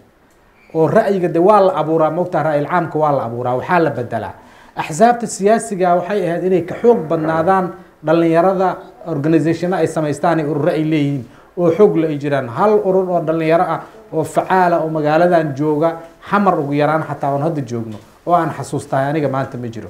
Marka dee waxay ahayd dad shuhro leh oo magac leh oo la yaqaano oo youthka caan ku ah oo howlahaas wata oo laga baqo de inay inay jiraan ay ahayd qaabka hadda dhalinyarada ay facebooka u isticmaalaan oo ama in wax lagu caayo ama in wax lagu commentigareeyo qof dan lihi boost yar u soo dhigo isagaa iska daba socdaan aanay macnaha ku jiro iyo danta laga leeyahay midna qiimeyn karin waa waa qaab mustawiisu aada u hooseysa waaye laakiin dee mujtamac adigu aada hagayso marka aada hagaysana dabeecadda iyo duruufta iyo aqoonta iyo dadka waxa ka dhex jira aada jaalanji garaynayso oo aada rabto adigu inaad hagto naxwal axsan u hagto iyo dhinac wanaagsan inaad hagto dhalinyaradii sidaa u fakeraysa mujtamacii kamay dhex muuqato. Marka horta dowrkaas waxaan aaminsanahay dowr aada u bannaan inuu yahay. Waa kan saameynta ku yeelan kara madaxda waa kan dhisi kara maxaa la yidhaahdaa siyaasadda hagi kara waaye madaxda abuuri kara qof waxyaabo ceebahoo laga xishoodaad abuuri kartaa haddaad shaqayso. Laaluushkaad la dagaalami kartaa markaasaad ah, waxaa u samayn kartaa qaab aad rabto inaad ula dagaalanto. Boosti aad u sameyne waad qaybine waa wareejine iyadoo laga xishoonaad arkaysaa. In laaluush la qaato hadda dowladda dhexdeeda meelaha qaar dee. Madaxweynea la dooranaa ah, qofaaba ku soo kaambeyn garaynayaba marka aan madaxweynaha dooranayo lacagta aan qaadanaha saas isaan yeelaaba yacni asluubkaasaa la joogaaba mu- mustawahaasaa la joogaaba markiiba oo oo kursiga la soo raadinayaba marka dhaqanka noocaas oo kaleetaa wuu fidayaa dabiiciyu iska noqonaya marka dambe cid jaalanji garayso ka hor timaado youthkana ama dhalinyarada ugu muhiimsan dadka waxaas oo kaleeta runtii akhlaaqda iyo dhaqanka wanaagsan samayn kara marka horta dhinacaas aaday aaday u fiicnaan lahayd in la sameeyo Eh, lagu dadaalo waan ka xumay haddii aan su'aashii toos u aadin eh, eh, la i weydiiyey marka laakiin de dhinacaanan rabay inaan inaan inaan si fiican u cabiro waa mahadsan tahay ka soo qaybgalayaasha barnaamijkaan siinayna waxaan jeclahay marka si aan dhammaanteena ma wada dhegeysan karno waqti laakiin safka walba qof aan ka qaadanaa safkaan hore gabadhaan aan siiyo haye magacaaga ku bilow iyo su-aashaada ama aragtidaada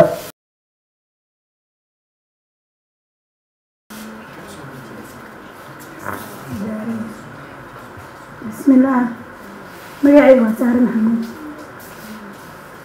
xildhibaanada waxay ku celceliyeen dhalinyarada marka ugu horeysa ma la siiyo waayo doorka dhalinyarada ay ku lahaayeen siyaasadda. Wasiirka dhalinyarada waxaa laga dhigay qof da-weyna waxay ka hadlayaan somaliland waxaa joogo dad madax cad. Laakiin annaga ma is-xisaabin koonfurta markaan nahay xildhibaanada maanta ku jiro dowladda ama dadka na hogaaminayo almost waxaa waaye dad waaweyn waaye. Wasiirka dhalinyarada markaa ka soo qabto. Wasiirka dhalinyarada qof weyn waaye ma dhihi karnaa dhalinyaro hogaaminaya marka waa may dhalinyaro shaksi ahaan su'aasha si toosa u abaa doorka dhalinyarada ma la siiyey xilligan hadda federaalka soomaaliya haa xildhibaanka waxaa weydiinaa weliba maxamed axmed saciid maxamed saciid wuxuu yidhi dhalinyarada doorkooda ayay kama muuqdaan. Marka hore magala siiyey doorka dhalinyarada siyaasadda inay ka soo muuqdaan.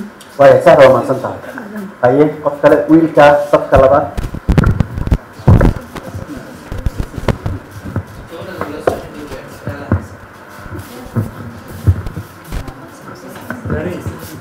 Haye magaxaa ku bilow iyo aragti ama su'aal haye ah, eh, bismillah. Eh, Magacii waa ayub sulaymaan jaamac. Mm-hmm, ayub soo eh, waa u mahad celinayaa madaxda halka fadhida iyo ustaadka xasan mudane mm-hmm marka labaad waxaan rabaa inaan ka hadlo dhowr su'aal ma qabo. Sababtoo ah su'aasha wax ka fiican maanka iyo maskaxda la soo biiriyo baa ka fiican iyo ra'yiga ka fiican in wax la soo biiriyaan ka wanaagsan. Waxa weeye waxaan aaminsanahay anigu horta sideedaba dadka bini aadamka ah allaha weyn oo waaxidka ah baa wada abuurtay. Ilaahay ha wada abuurtay bini aadamka awood buu siiyey. Waxa weeye dabeecadda inagu wareegsan oo arkaysaan oo bad leh oo berri leh oo buuro leh ilaahay bini aadamka ayuu ka saramariyey wuxuu siiyey awood uu ku bedelo oo ku tasarufo dabeecadda hadba sidii isaga dantiisa u jirto. Ummadaha fahmay awooddaas waxa weeye waa kuwa dayaxa iyo xidigaha u tartamaya.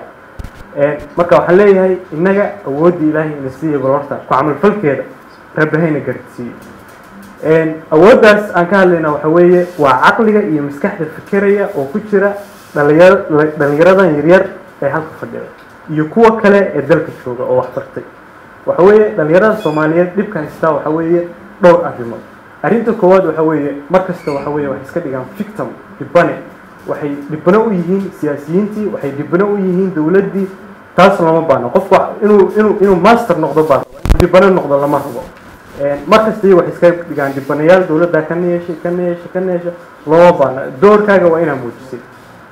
Qodobka labaad waxa weeye waxay iska dhigaan marti oo dee dadkii dowladda ku jiray bay iyagu sugayaan inay wax siiyaan. Waxaa la doonayaa qofka dowladda ku jira inuu dhalinyarada cambaign ka sugo oo isagu dhalinyarada baahi u qabo. In adi qofkii u baahansid ma aha.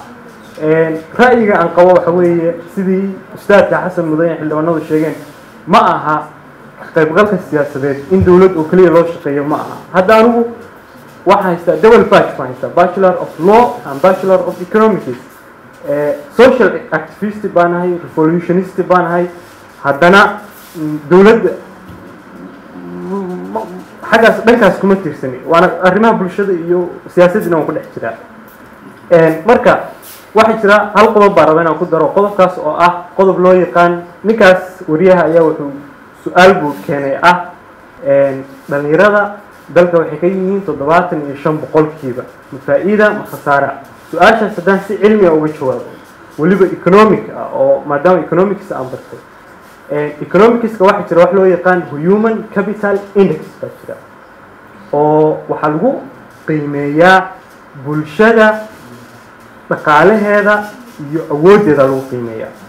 Bulshaba bulshada ay ka dhalinyaro badan tahay way ka dhaqaalo iyo korriimo badan tahay. Dowladaha sida fiican uga faa'iidaysta waxaa ka mid ah jaban waxaa ka mid ah singapore baa ka mid ah. Oo dee waxaa la rabaa dadku aqoontoodii dhalinyaradu waxaa la rabaa aqoontoodii iyo skillskoodii iyo xirfadahoodii inay badiyaan baa la rabaa. Si human capital indexkii si fiican looga faa'iidaysto marka weriya khasaare ma aha laakiinse dhalinyaradu sida aan sheegay marti ay u yihiin cilmigii ay barteen bay marti ku yihiin. Ma ma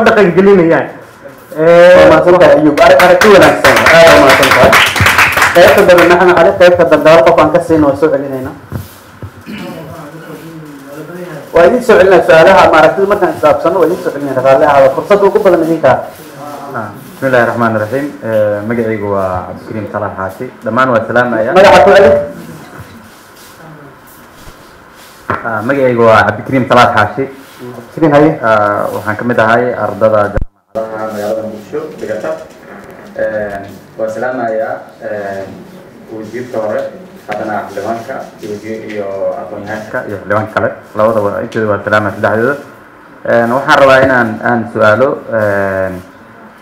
dowrka dhalinyaradu waxaa moodaa in hadda waktigan xaadirka aada moodid in aysan yani siyaasad ahaan qiimaha qiimihii la kordhiyey oo baarlamanka inay soo galaanba. Dhalinyaro cusub fikirkooda ay yimaadaan oo ay ka mid noqdaan baarlamanka. Baarlamankana mar walba sanad afar sanoba lagu daro qiimo. Yacni qiimo lagu lagu tago oo dhaqaalo lagu tago in baarlamanka. Labaatan kun oo doolar oo kale lagu tago hadda xilliga uu marayo marba qaab uu sii soconayo dhalinyaradana ay suuragal u ahayn. Yacni xubnaha baarlamanka ha ha yacni mushar ha in uu tago manaha qaabkaa soo marka see suuragal ku tahay inay ay ay caqabadaha caqabadahaasaa jira. See marka suuragal ku tahay in dhalinyaradu ay ka mid noqdaan siyaasadda. Waxaan weydiinayaa xildhibaan cabdixakiim maxamed saciid. Isagana waxaan rabaa inaan su'aalo afartan sano markii la gaaro manaha waa hadalkaagi hore dib u raac afartan sano markii yacni waxay u muuqataa inaadba ka gudubto? Afar sano markaad gaarto meesha wax ugu soo dari leed waxay noqonaya inaad gaartay waa ka gudubta soo maha inaad gaartay daadi kale oo dhalinyarada aba ka baxda masalan afartan sano waaba kuegtaabtiri mogta afartan sano inaad korriimo aad heshaan oo la koro afartankaa sano. Afartanka sano markii la gaaro maxaa maxaa maxaa ma wuxuu noqonaya? Dhalinyaruu noqonaya mise wuxuu ka mid noqonaya? Ha odayaashuu ka mid noqonaya. Waa maasiti oo maasan tahay Eh, marka hore eh, mansib wasiir si loo qabto qofka aqoontiisa iyo kartidiisa inuu yeesho weyaan way fiican tahay in eh, maxaan dhahdaye categoriga iyo sida annaga aan isu level garayn. Horta soomaaliya ma wax laga bedelaa cudur xun baa ilaa haddeer aan ku dhex jirnaa oo ay ahayd afar sano kadib inaan ka gudubno oo four point five la dhahayay two thousand four kii bay ahayd inaan ka gudubno. Labaatan sanaan ku dhex jirnaa. Idinku arrintaas ilaa hadda inay ka hadasheen ilama ahan maxaa yeele dad baa dan kula ka qaba in ay arrintaasi socoto. Ya cudurkan qabiilka inuu socdo waa dib u dhac ummadda soomaaliyeed. Mar waliba dib u sii ridaayo waxay hiigsanayeenna ka reebaayo. Marka aniga waxaan aaminsanahay qofka wasiirka dhallinyarada noqonayo waa qof aragti leh fahamsan baahida dhallinyarada isla mar ahaantaana barnaamij waddankani u haya.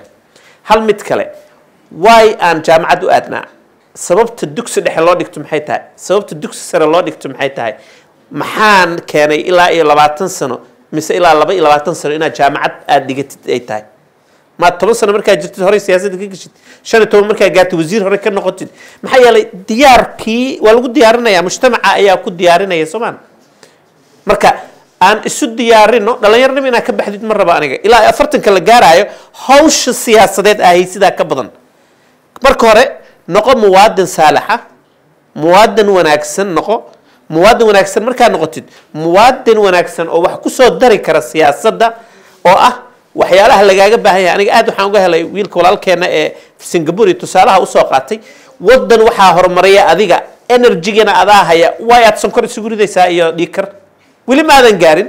Ilaa afartan aan ka gaaraysid dhiikarka dib u dhigo. Ha iswaalin ee wadanka awooddaada geli beeraha kalluumaysiga ganacsiga feker cusub.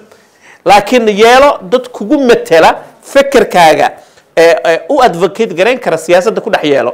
Maxaa yeelay adigii haddaad maanta tahay labaatan jir aad tahay mid afartan jir aana meeshaas kuu joogo siyaasadahaaga aa ka dhadhacsiisid oo hada u wadi karo berita adigaa afartanka sano gaaraya kii kale labaatan labaatanka sano jiray ee teknolojiyada iyo dayax gacmeedka soomaaliya u diri lahaana adiga ayaa ayaa ayaa qayb ka noqonaya qaybkaad ka wadi lahayd. Marka yaan lays horumarinin dameerka iyo maxaa la dhihi jiray eh, faraska iyo iyo iyo iyo geedka eh, eh, uu jiidaayo yaan la horumarinin koriinkan degdega ah iyo dhicisnimada aan dowladnimadeena ay dhicisowday lixdanka sane ee la soo dhaafay ma guul baan gaarnay mise fashil?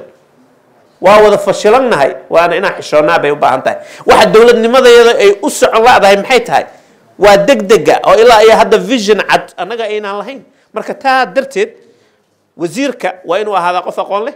وين وهذا قفنا ليرضى السياسة دودة إيو أركتي دودة متلي كرا.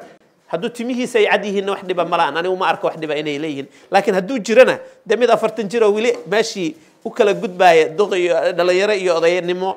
إن لو ديبو وفي عنتها تاد واحد بأو ماركو إيه، أرنت كلا حكتا.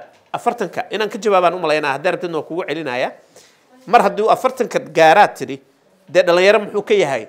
أنا وهل مترت أن ميل سلا دقنو jartan mar walba laga boodaayo aan joojino steebyada jaranjaradan aan sidii la rabay aan u fuulno jaranjaro dowlad dowlad baradaan nahay haddaan dowladnimo aan aqooni lahayn lixdankii maanta ma inaan joogi lahayn meesha aan joogno lixdan sano cimri ummadeed aad iyo aad buu u dheeryahay ummad baa la burburiyey cadaalad darada iyo welfare systemka iyo dowladeeni waxa burburiyey maxay ahayd qabiilkan iyo cudurkan iyo waxa keena maxay tahay war soomaali haddaad maanta aragtid anigu dibaddan ku noolaa muddo badan wallaahi qofka soomaaliga qofka soomaali kale markuu arko wuu ku ooyayaa meel uusan arki karin muhiim ma ahan qabiilku yahay wallahi isma weydiiyaan laismana weydiiyaba war ma af soomaaliga ku hadlaya waa lasu cararayaa marka qabiilkani waa wax lagu danaystay dan laga yeesho weeyaan qof walbo annaga naga mid ah ku sheegaya siyaasiga siyaasiga qabiilka wuxuu u laabtaa markuu dan leeyahay maalin alluu jaranjarada ku fulana jaranjaradana wuu tuurtaa idinka weeyaan marka dadka ajandada inaa yeelataan ay u baahan tahay ajandada horu socodka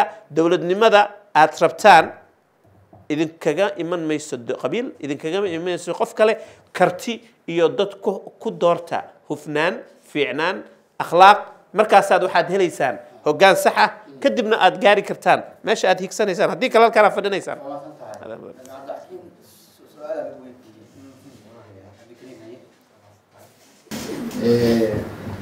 zahra waxay dhahday horta intaan cabdikariim u gudbin dhallinyarada dowr ma la siiyey wasiirkaa ka jawaabay laakiin dee weli aniga waxaan ku dheganahay dhallinyarada dowr ma la siiyey. Hadda eh, waxaan eh, mahad miya. Ayuub ayuub ayuuba markuu hadlaya hadallo badan oo runtii xikmad la sheegay. Oo dee qofku in diisi cid kale hayso. Ama cid kale ay wax ku biirin karto isagu naftiisa inuu horta isku dayo inuu wax abuuro.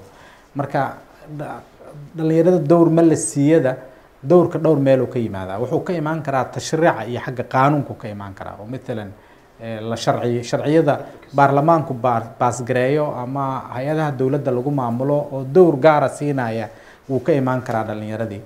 Eh, si guudna dee mujtamac oo dhan ay taabanaysaa. Hadda oo kaleeto sharci waxaa jira n g o biilka oo kaleeto oo horyaalla ama sharciga hay'adaha aan dowliga ahayn oo golaha horyaalla oo kale Eh, wuxuu muujinayaa ama hay'adaha internationalka ah waddankan jooga imaanaya ka shaqeynaya inay shaqaalaha iyo dadkay qaadanayaan qof xifrad xirfad leh qof soomaaliya shaqo u qaban karo inaanay qofka ajnabigu qabanin oo loo dirin oo kale.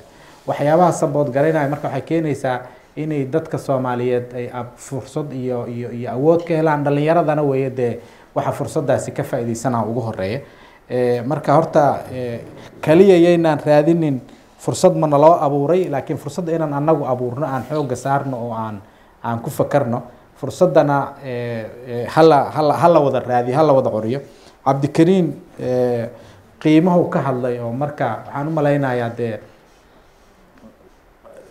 qolada golaha maxaa la yidhaahdaa ii sheeg eh, dowlad goboleedyada iyo dowladda federaalka hadda shirkii ugu dambeysay ay hamar ku galeen bay ku heshiiyeen. Fiiga qofka laga qaadayaahi oo uu bixinayo registrationka xildhibaanka oo golaha shacabka u tartamayana toban kun inuu bixiyo aqalka sarena inuu labaatan kun bixiyo. Marka taas inay taan u malaynaya midda cabdikariin uu ka hadlayo laakiin cabdikariin midaan kugu bishaaraynaya waxaa la gaari doonaa insha allah waxaan horta waa marxali. Hadda waxaa loo laabtay lix iyo tobankii qaabkii doorashada lagu soo galay. Waa xilli oo maaragtay eh, doorashadii weli waxaan ku jirnaa reer hebel weli waxaan ku jirnaa baahidii aan reer hebel u qabnay weli waxaan ku jirnaa inaan state iyo maaragtay marka jawigaas oo dhan in inta laga soo gudbo loo gudbo qof iyo cod weeye midda loo socdaa marka qof iyo cod la gaaro doorasho furan la gaaro maalintaasaan u malaynayaa waxaan cawaa'iqdaa hadda aad ka hadlayso o dhani oo culayska ku ah inay inay inay inay ay- ay soo gaaban doonto. Laakiin su'aasha taagani waxa weeyaan ma aha macnaheed inaan kuraas kuraas ilaashanayno laakiin waay loogu fakarayaa dhalinyaradoo dhan ugu fakaraysaa labaatanka kunoo iyo tobanka kunoo fiida ay u dhibaysaayo ay xildhibaan iyo wasiir un uga fakarayaan wadankii oo dhan hadda waxa waa doorashaa lagu wada jiraan. Dhalinyaradii halkaan haddii hadda la yihahdo meeqaa murashaxiina waxaa laga yaabaa inay inta fadhiso fifty percent. Inay kuraas wada raadinayaan murashaxiina dhici karta. Marka dalkiiba dee khiyaaraadkii kale sababta iyo reasonka waa dareemi karaayo waxaa qeyb ka ah eh, maxaa la yidhahdaa meel activities iyo wax ka socdaanoo qofka uu ra'yigiisa ku cabiri karo ama xataa dadka qaar laga yaaba inay nolol ay ka raadinayaana laga yaaba inay asal ka tahay. Laakiin waxaan aaminsanahay dowr badan oo ka ballaaran iyo kaalimo badan oo dhalinyaradu inay buuxiyaan u baahan dalkuna u baahan yahay inay jirtaan. Aada u aaminsan yahay waa mahadsantiin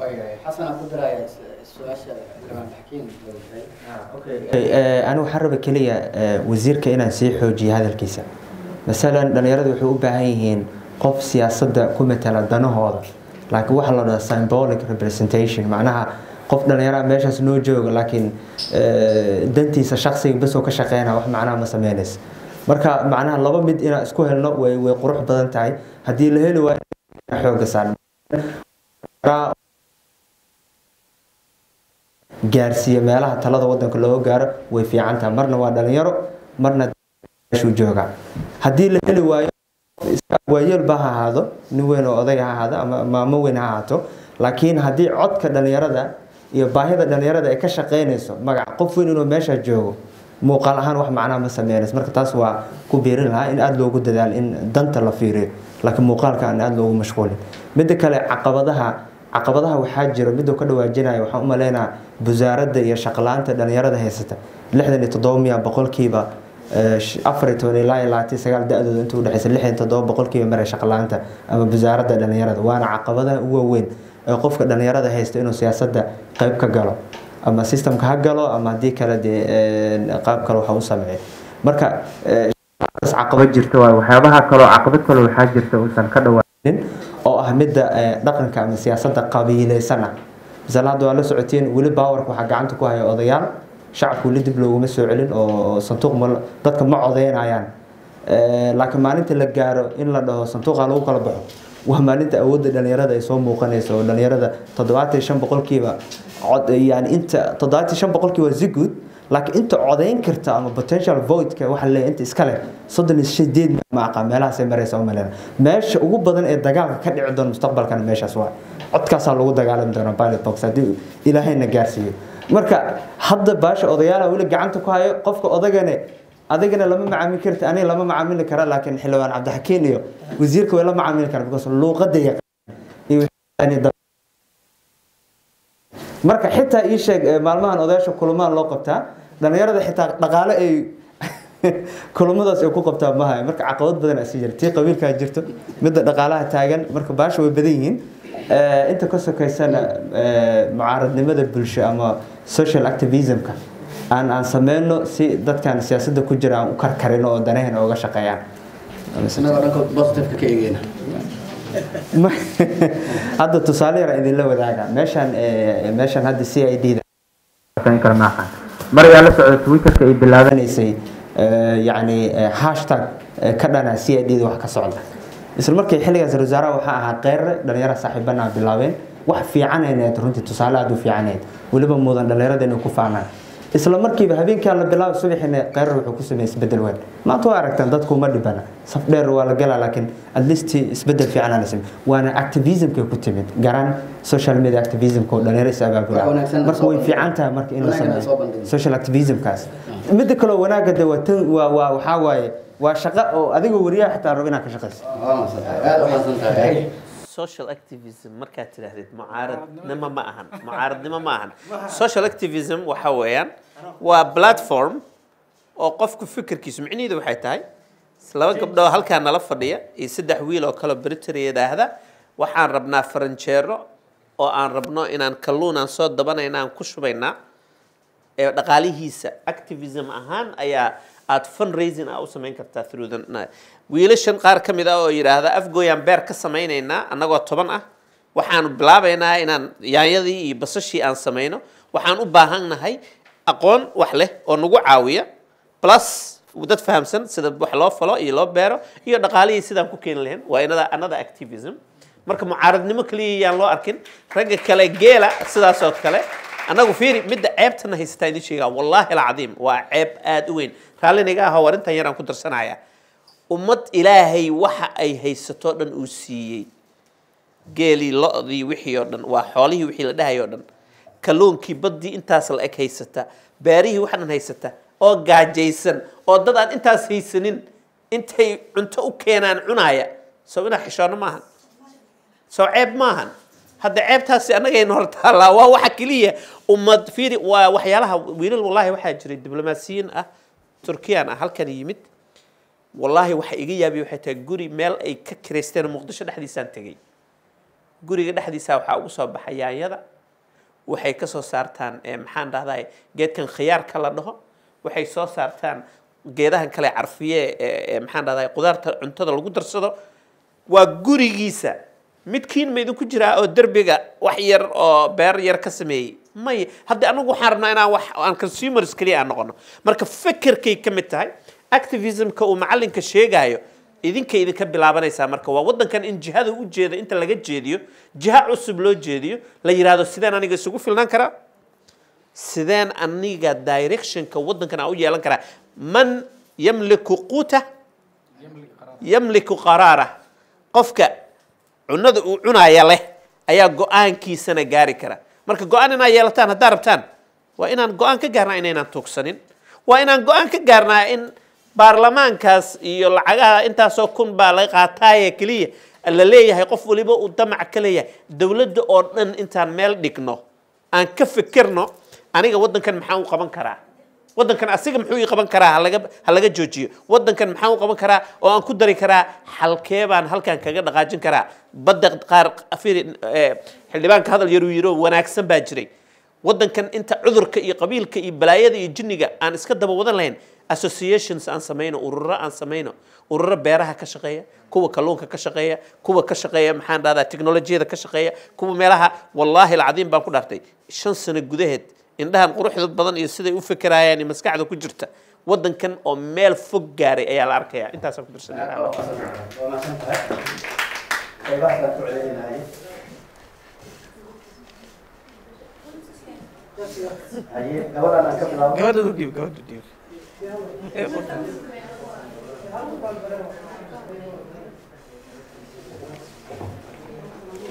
Magacaaga inoo sheega aragti iyo su'aal haye soo dhowo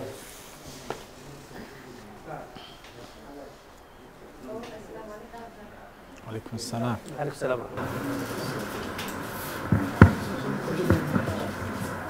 awalna asalaamu calaykum magacaygu waa sayna cabdi jaamac haddaan su'aasha u gadagalo horta dhalinyarada in la eedeeyo ma ahan dhalinyarada iyaga codkooda iyo fikirkooda banaanka keenaya ayaa codkooda la qaadayn siyaasaddan aysan ka mid noqon karin marka dhalinyarta ayagoo sas juhud iyo dadaal u bixinayaan codkooda la bixaynin marka dhalinyarta in la eedeeyo.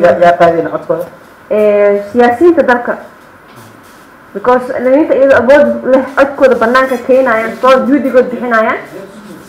Haye haye dhamayso codkooda banaanka keenayaan because waa arag dhalinyarada because dhalinyarada siyaasadda way ka- mid noqon doorkooda way qaateen. Ayagoo codkooda banaanka gambeysan siyaasadda ka mid noqon karin. Marka sidee loogu bixi karaa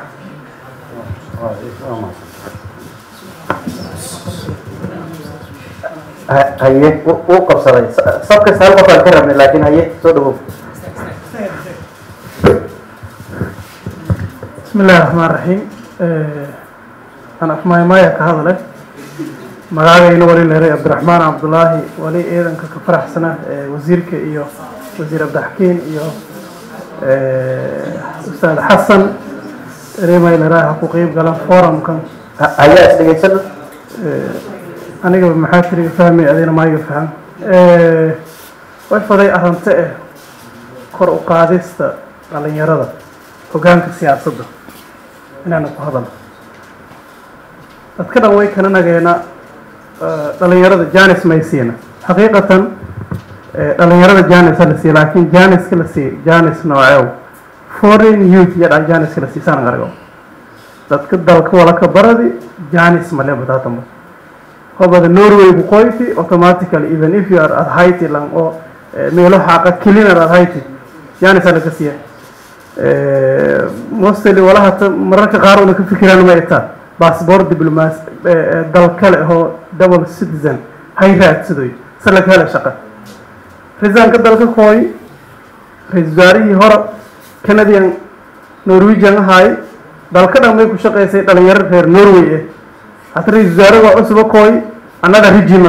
xaqiiq- dhaqan- xaqiiqan waa haysaa cabdiraxmaan oo exactly meel kastaba taal everywhere you go xogayaha xogayaha gobolka banaadir xabka la magacaabo. Eh, wadanku isku kooy laakiin wax xaqiiq uma in wasaare kasta yimaada wadanku ka soo jeeda baasboorkiisa wadankiisa inuu shaqeeyo just wasaaraha le ka koobtay ee xukuumaddii koytaba dalkii ku koyta xukuumaddii la kooyas madana ha ku dhagaada tayariha ku gadooma golaha wasiirada. Ee, wasiirka ee, wasiirkay wasiirka hore ee wasaaradda caafimaadka. Way areenaa usiya wasiir xildhibaan abdixakiin dhalinyaro oo namatalaas yahayen for the laakiin in in meelo keliya golaha wasiirada fursadii oo ka helo qoran ani ka hadalan waa in may ladahay shirka khamiislaha mise shirka golaha wasiirada. Laakiin wasiir ma ajenda dhalinyaro ka hadalo meelo seede wasiirkaas madiisu seede amniga ayuu ku hadalay. Afar sano amni walna mal qabadaay afar sano amni amni amni amni. Xildhibaan gobolka sirug amnigayna ku hadalaay walna mal ku qabadaay marka way fadaane golaha wasiirada markii ada kuma nagata inaada sheegda doorka ada leta in person Eh, hoban dhalinyaraha ina dheer dhalinyarada a b c d problem ay haysada golaha wasiirada horta oo ka sheegay laakiin madi una laninkooy ina lanin erna. Boqolki toddobaatan shan tin i believe personally. Boqolki zero ana what the people say? I don't believe. Personally. Madan ha ku gudaba gobolka banaadir lay koyno leave of any other region. Gobolka banaadir lay markaan hakanaga hoob roobku yar lay koy wadadan gohaas wadadan gohaas meelo maro male golihiina wasiirada hayteen may ku qabateen maha kordhiiren walaa xildhibaanada kumadati ka dareersan ra wasaaraha jidka la yire madaxweynaha jidka la yire maha qabateen afar sano personally fashilan arage oo ede gobolka banaadir maaragtay dhalinyaradaba dee dhalinyaradaba ka jara. Hadaan ku hadalo isin dhalinyaro haytan mayna faday isin qobatana sin faday ertan codkiikaana ka hadala madaxweyne qaldanta ra wasaare qaldanta maadaama una handeeran isin deerasan tanga kala dhaqaalaha wadanka una ku warqabna.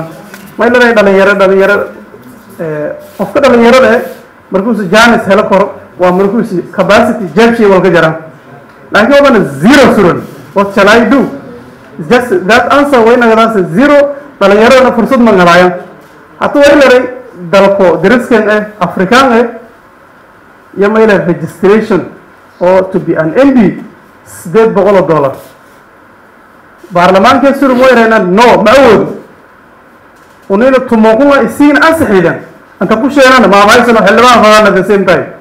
Marka wayna faday dhalinyaro maadaama isin etin on our voice ka hadalaasan eshteraan no arrintan qaldanta tumoquma mee sadukun lebiliska diiwaan geliye let I uh, register myself everyone here is diiwaan geliye laakiin ini leero tumoqun lebiliska diiwaan geliye inta ku sheegan taasintaan ku gudube dib dalka wayn malahey wasiir abdixakiim wasiir wasaaradda ku tarsanaa jiray howlaha guud oo banan qaldanaya dalaas waktigii laharoogi dib u dhiska dalka diblaynin burburyahayno walmay dhisaay marka arrantiyeedahay maadaama aysan dhalinyaro hayteen dalkan una nin yarow may ku qabateen eedan maasanti dadka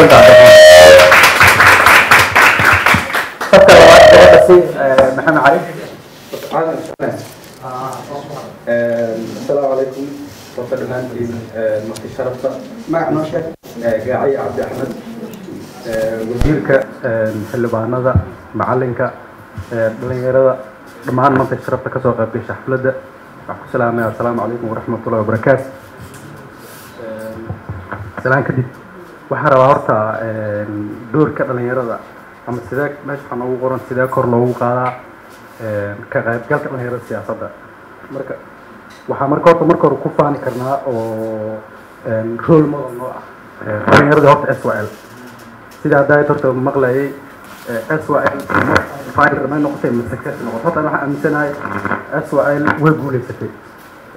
Waxyaabaha hadda number one dhalinyarada soomaaliyeed markii doorkooda ama awoodooda ama kaalintooda ama siyaasad ama arrimo bulsho dhan walba noqoto markii tusaale loo soo qabanaya waxay noqon karaan horta s l. Taas horta waa midda koowaad waxaan rabaa marka anoo warka sii badin inaan laba su'aalood oo koobkoob weydiiyo marta sharafka. Su'aasha koowaad horta waxaan leeyahay nidaamka maanta horta jiro oo dowlad walbo waxay leedahay waxay ku dhaqantahay sharci. Marka sharciga maanta horta dowladdeena horta ay ku dhaqmayso ama systemka dowladnimo maanta noo jiro horta number one ma yahay system dowladnimo oo dhalinyarada dhiirigelinayo system dhalinyarmo oo xagga sharci marka laga fiiriyo xag dhaqaale marka laga fiiriyo xag social marka laga fiiriyo systemka dowladnimo horta maanta noo jiro. Horta number one ma yahay system dhalinyarada inay siyaasadda ama arrimaha bulshada horta inaan ka qayb horta ma yahay number one. Because siyaasaddeena waxay ku qotontaa kuma qotonto hab deegaan kuma saleysna hab xisbi kuma saleysna hab fikir keliya siyaasaddeena waxa go'aamiyo oo ay ku salaysan tahay waa ama qabiil baa layahay marka challenge ugu weyn marka waxay tahay systemka marka aan ku dhaqano oo uu dowladdeena ku dhaqto four point five ka wasiirka cid baa iska leh wasiir ku-xigeenkana cid baa iska leh ra'iisul wasaarihina cid baa iska leh madaxweynena cid baa iska leh. Marka haddii wasiirka ay cid iska leedahay oo laga yaabo family dhan oo siyaasadda soomaaliya ku jiro wasiirna iska leh wasiirkaas marka ku matalaya boqolkiiba inteeba dhalinyaro oo kale marka ilaa family dhan baa hadda siyaasaddii ay ku jiraan wasiir baa ku soo aaday ama agaasim baa ku soo aaday ama ra'iisul wasaare ku soo aaday ama madaxweynea ku soo aaday. Marka xagga dhigba madaxweyne ra'isul wasaare waxaa laga yaabaa in sharciyada waddanka uga degsan inaysan dhalinyaro ka mid ahayn. Marka waxaan rabaa horta systemka koowaad ee dowladda maanta noo dhisan ama systemka dowladeed ee maanta aan isticmaalayno. Horta ma yahay system dhalinyarada dhiirigelinayo su'aasha labaad waxaan rabaa madaxdeena maalin walba waxay leeyihiin mustaqbalka beryaatiid yani dhalinyaro walbay arkayaan way u qodbeenayaan waxaa leeyahay futureka beryaatiid sababta marka ayagoo mustaqbalka maanta ah oo maanta wax go'aamin karo maanta tala qaban karo maanta wax walba dhisi karo loo loo leeyahay maxay tahay mustaqbalka barbaadin marka labadaas ee runtii su'aalada uu weydiinaya aada umahadsantahay haye macalin caraya soo dhow maasha allah waxaan salaamayaa horta guud ahaan tv-ga shabeelle oo aan la bahay. Anu magacayga waxaa la yidhahdaa professor axmed caraya cumar cali sow waxaan salaamaa xildhibaanka waa salaama walaalkay agaasimaha macadka isbaad waa salaama xasan mudane wasiir ku-xigeenkana waa salaamaya. Anugu laba qodob oo yarara bisaan ka hadlaa commenty bisaan qabaa wax badan kuma darsanaayo. Musharaxna waa ahay xildhibaannimaan u taaganahay sanadkan. Oo maaragtay arrinteedu waa caddahay. Anigu horta kama filanayn inkastoo cabdixakiim aad maaragtay uu si uun isu daboolo uu aada u wanaagsan yahay laakiin wasiirka kama filanayn in dhalinyaradii uu arrinta ku soo celin doono. Waddan waxaa dhisa ogaada aniga sodaskan wax ku bartay waddan waxaa dhiso system dhaqaale oo dowladu ka shaqaysaa waddan dhiso. Ogaada dhalinyaradu ma keeni karaan dhalinyaradu ma keeni karaan hadaf dhaqaalo soomaaliya lagu badbaadiyo ma keeni karaan. Laakiin dhaqaale in dhalinyarada dhaqaalahoodu isbedelo oo waddanka dhaqaalihiisa isbedelo waxaa keeni kara executive powerful dowlad shaqaysay jirta oo inta siyaasado dhaqaale la timaada kalluumaysiga dhaqaajisa beeraha dhaqaajisa waxyaabaha maaragtay ummadda wax looga bedeli kara dhaqaajisa. Anigu aragtidaasaan aaminsana waana aragti science ku dhisan oo cilmi ku dhisan dadku haddaysan lahayn jiho iyo hogaamiyaal dhaba haddaysan lahayn.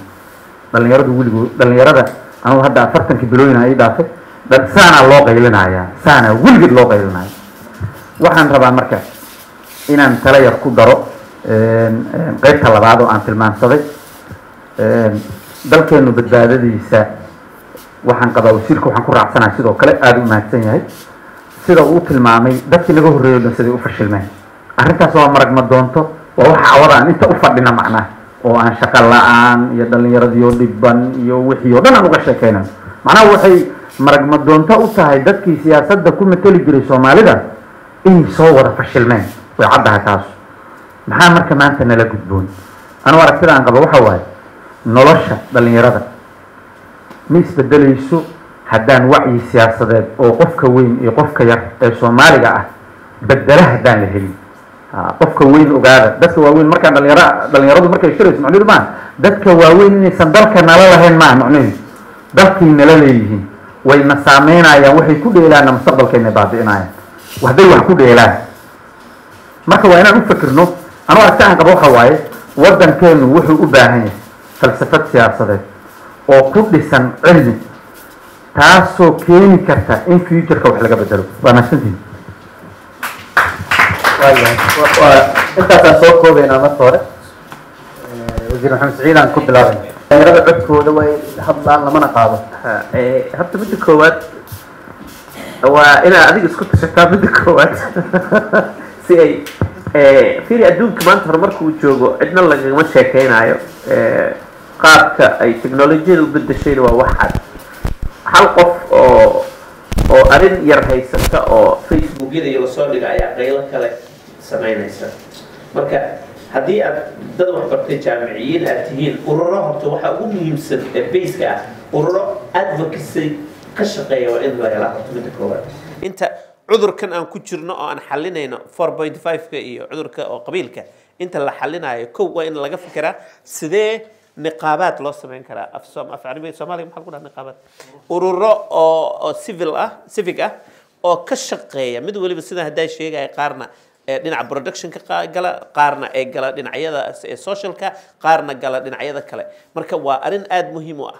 Idinkayna idinka bilaabanaysaa ururadaasi inaad bilowdaan. Taasaana adigana awood u heli kartaa in in maxaan dhahdaa maqalkaaga si wanaagsan lagu maqlo. Walaalkay hadalkiisa aada u qiimo badanaa meelo badan taabtay. Aniga laakiin waxaan u soo noqonayaa inta aan u arkay muhiimka inay tahay. Waddanka aan joogno sweden ma ahan switzerland ma ahan soomaaliyaan joognaa toban sano wax dimuqraadiyad u egoo aan la soo kukufnay oo qabiil isku bedeshay kow iyo labaatan sano waxaana haystay rag ayagu ismooday inay kacaan iyo wax waliba ay ku bedeli karaan. Gadaal dambena meeshaan ugu dhacnay aa aragnay. Kadibna waxaan galnay chaos oo toban sano oo run ahaantii iskaba daa qabiil qabiil inuu la dagaalay walaalka walaalkiisa la dagaalay. Walaalihii isla dhashay ee shalay. Hal dhinac ku soo jeeday ayaa iyagia isku jeestay marka burburka noocaasa ummad markay gaarto. Labaatan sanona ay kufid iyo kacid ku jirto oo ballantii la galay xitaa laga baxaayo. Afar sano kadib waxaan samaynaynaa nidaam noocaana la yidhi oo la hagaajin la'aya dhibaatada horta ma yara dhibaatada amniga ah iyo arrimaha kale ee hortabinta leh marka laga hadlaayo waxa weeyaan midba mid baa ka horeysa arrinta adiga aad ka hadlaysid maalin baan gaari doonaa وحوين مانتا هذا كان أرمها سياسة أن كهر لين أنا قم مرك قارو الله يا لكن مرة وين أن تذكر بدين كود مرك فكر كيس كرة عن أذينا وعلنت إن لغو أركها كبقي سام مرك هذا أنا قا علينا هاي السبب تو آه. وحنا سلا يا دت كان ديسان فكرة يعني بل فكرة أيه قصي فكرة يعني لكن وحنا لا يا بنا هاي إذا كم مرة قاتبة بدين كتير نافيرستان كري وإذا كي وين دت كباتسيبيشن كسمين لها. Waa idinkii nabadgelyada dadka soo celin lahaa yes dowladii aad bay u xoog weyn tahay waa mashiin weyn oo soconaya laakiin dowladda dadka samaysta waa dadka the people dadka idinka aad matashaan oo aad dhallinyarada aad u tihiin ayaa dowladda la sheegaya ridi kara soo saari kara dooran kara kala diri kara haddii arrinta ay qasabtana sagaashan iyo kowda wixii dhacay oo kala samayn kara marka micnaheedu haddaad hadalka hadalkayga si fiican u fahamsan tihiin waxa weeyaan awooddiin horta waa inaad garataan ah in annagoo dhan aan isla wada fahamno Eh, walaalkay xildhibaan oo kusoo dhaweynayaa insha allah mabruuq baan kuleeyahay waaba kuusii hambaleynayaa laakiin hal mid aan kuu sheego eh, eh, waddankan wuxuu u baahan yahay xildhibaan iyo wasiir iyo keliya ma ahan fiiri imise ayaa percentage ahaan shan iyo toban milyan qofood wasiir noqon kara cimriga had soo socdoo kale ka soo qaad boqolka sano soo socda meeqaa wasiir noqon karta haddii dowlad waliba afar sano ay qabata la yihahdo mise laba bedelo xitaa numberka aad u yaraanaya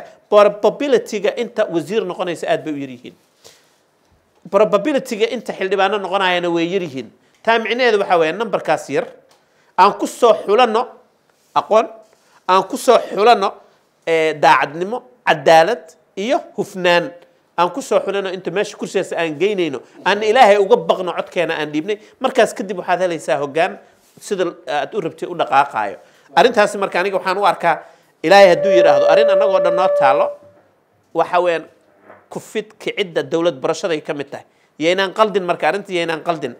Aan ka shaqayno priority-ga ugu weyne aan haysano haddaan nidhaahno amniga aan nidhaahno dhaqaalaha iyo wixii aan ka shaqayn lahayn dowladdu waa run waa mashiin weyn laakiin dowlad aan dadkeeda diyaar u hayn hadda ha lay sheego idinka hal qof gacan ha ii taago yaa projecta beera ah gacanta ku haya good hal hal hal gabar aan arkay aad ugu faraxsanahay gabar beero leh project oo kalluumaysiya gacanta ku haya ma jiro hal qof ma jiro soo qof kalluumaysanaya ma jiro dadka qaar sankay qabsadaan markay kalluunka ay ay cunayaan marka ma- hadalka pointigaana rabaa marka inaan isla fahmno هل سؤال بين ويدينا؟ إذا كان سؤال ويدينا نيسا سومان بقول أفرت من أفر يتمن مليون بعدنا عن نجحكته بقول يأفر يتمن مليون أيادنا عن نجحكته هدي أينا أن نجح تشنين مس أينا استوستوسين. أما دولة نمذا أينا كشقينين دت كان إنا رافع نمذا هل مالنا طوفان إن وصل هذا الدجال؟ بابا كده بلاود جدوده وبقول أفرت مليون أو كو أجوجيه دوده. بدين كده هذا ودن كهاف حدودها سوق جد بعيه xuduudaha intay soo gudbaana wallahi soomaali dad la dhihi jiraa jiri jiray baa la dhahayaa haddii aynan hadda istoostoosin ee aynan ka shaqaynin saan annaga dhexdeena is gurigeenna aan u nadiifsan lahayn guriga qabiilka intaan ka dayno guri umadeed oo soomaaliya oo dhan wada qaadi kara waa inaan doontaas samaysanaa kadibna doonta aan soo wada saarnaa wixii kale annaga eh, nagu- nala tirsanaa ilaah hadduu yidhaahdo tahay haye xildhibaan ها سؤال سؤال يا la yidhaahdaa cabdiraxmaan eh, wuxuu ka hadlay arrimo badan oo runtii dee aada muhiim u wada ah Eh, comments badan oo bixiyey laakiin hadalkiisa waxaa ka mid ah ajaanibta eh, dadka oo maaragtay xafiisyada dowladda imaanaya oo mar walba dee ku tiirsan wadankii ayagu ay ka yimaadeen ra'iisul wasaarihi ha noqoto wasiirka ha noqoto. Eh, laakiin aniga midda kale oo runtii aan u arkay inay ahmiyadda leedahay waxa weeyaan sidaas exactly looma dhihi karo oo dee ra'iisul wasaare walboo yimaado ama madaxweyne walboo yimaado wadanku ka yimid ayuu ihtimaam gaara siiyaa lama dhihi karo. Siyaasadda waa iska saaxiibtinimo waxaa dhici karta dadka is-yaqaaneen iyo tiimkii saaxiibada ahaayeen iyo kuwuu garanayo oo capacitigooda iyo inuu dad ka qaato waa suurtagal oo sidaa loogu maleeyo. Laakiin midda aan hubo inay mushkilad tahay waxa weeyaan waa mushkiladda sii ballaaranaysa ee u dhexaysa qurbo joogta iyo dadka waddanka wax ku bartay ee localka ah oo marar badan ay muuqato in xataa hay'adaha iyo eh, qaarkood marka ay qofka soomaaliga shaqaalaysanayaan inay ku qaataan inuu baasboor ajnabiya wato. Oo uu ba- priority gaara leeyahay inuu baasboorkaas wato. Marka taasoo kaleeta waxay u baahan tahay tashriicaad lagula hortago iyo qawaaniin loogu eh, lagula dagaalamo u baahan. Qofka soomaaliga ah ee localka wax ku bartay ama waddanka jooga iyadoo dee xuquuqda kan banaanka jirana aan uu soomaali yahay marnaba aan aan dembi laga gelaynin ayaa haddana ay tahay in dadka waddanka jooga ee waddanka wax ku bartay in priority fiican la siiyo oo la hormariyo. Dhinaca kaleetana dee laftirkoodana waa inuu qofku ku dadaalaa inuu mustawihiisa iyo eh, jaamacadda uu dooranayo uu rabay inuu wax ka barto inuu dee laftirkeeda ku dadaalo waxyaabo badan oo xaggii tacliintii iyo naga halaysan in la saxay u baahan tahay iyada laftirkeedii. Marka aaday runtii dee mulaaxadadaasi muhiim u tahay waxaanan hubaa inay u baahan tahay dee sharcigii iyo iyo iyo awooddii ee lagu sixi lahaa inay u baahan tahaan aan aan hubaa waa dhici kartaa inayna dee xilligii ay ahayd in wax laga qabto inaan wax laga qabanin laakiin mar walba oo la sheego macnaheedu waxa weeyaan waa activitygii iyo activistinimadii hadda aan ka hadlaynay oo laga sheekeynayay qayb ka tahay messagekaagii iyo risaaladaadii caawa dad badan uu gaaray oo meediyaha daawanayso shabeella daawanaysa caawa wax badan ka ogaatay. Kulama aad ku sii celceliso saameynteeda yeelanaysaa haddaad gruub noqotaan oo laga sii shaqeeyo saameynteeda yeelanaysaa. Haddii la qoro saameynteeda yeelanaysaa. Marka waa bidaayo fiican waaye.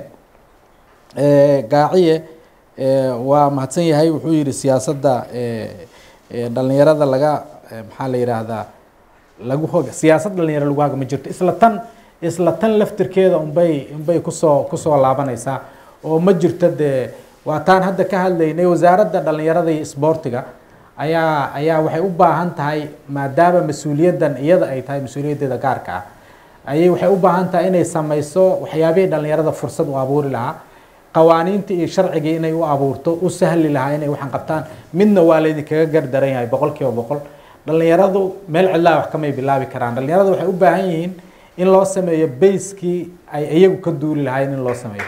Fursadihii in loo saburo loo loo abuuray u baahan yihiin hadday rabaan inay ganacsi galaan hadday rabaan inay eh, wax sameeyaan waa in loo sameeyo. Matalan dowladda waajibaadkeeda waxaa ka mid a inay abuurto inay shaqo abuur inay sameyso inay inay abuurto company. Company-a waxaa loo abuurayaa wax profit aan laga xaqiijinaynin laakiin boqol qof inay ka shaqeysaa loo abuuraya. Wax wax ka soo laabanaya oo profit ah inaysan jirin aa dhici kartaa iyo macaash laga xaqiijiyo. Laakiin boqolka qof ee ka shaqeysaa profit ah boqolkaasaa boqol qoys ku tiirsan tahay nolosha halkaas ka abuurmaysaa dowladnimadii wax taraysa.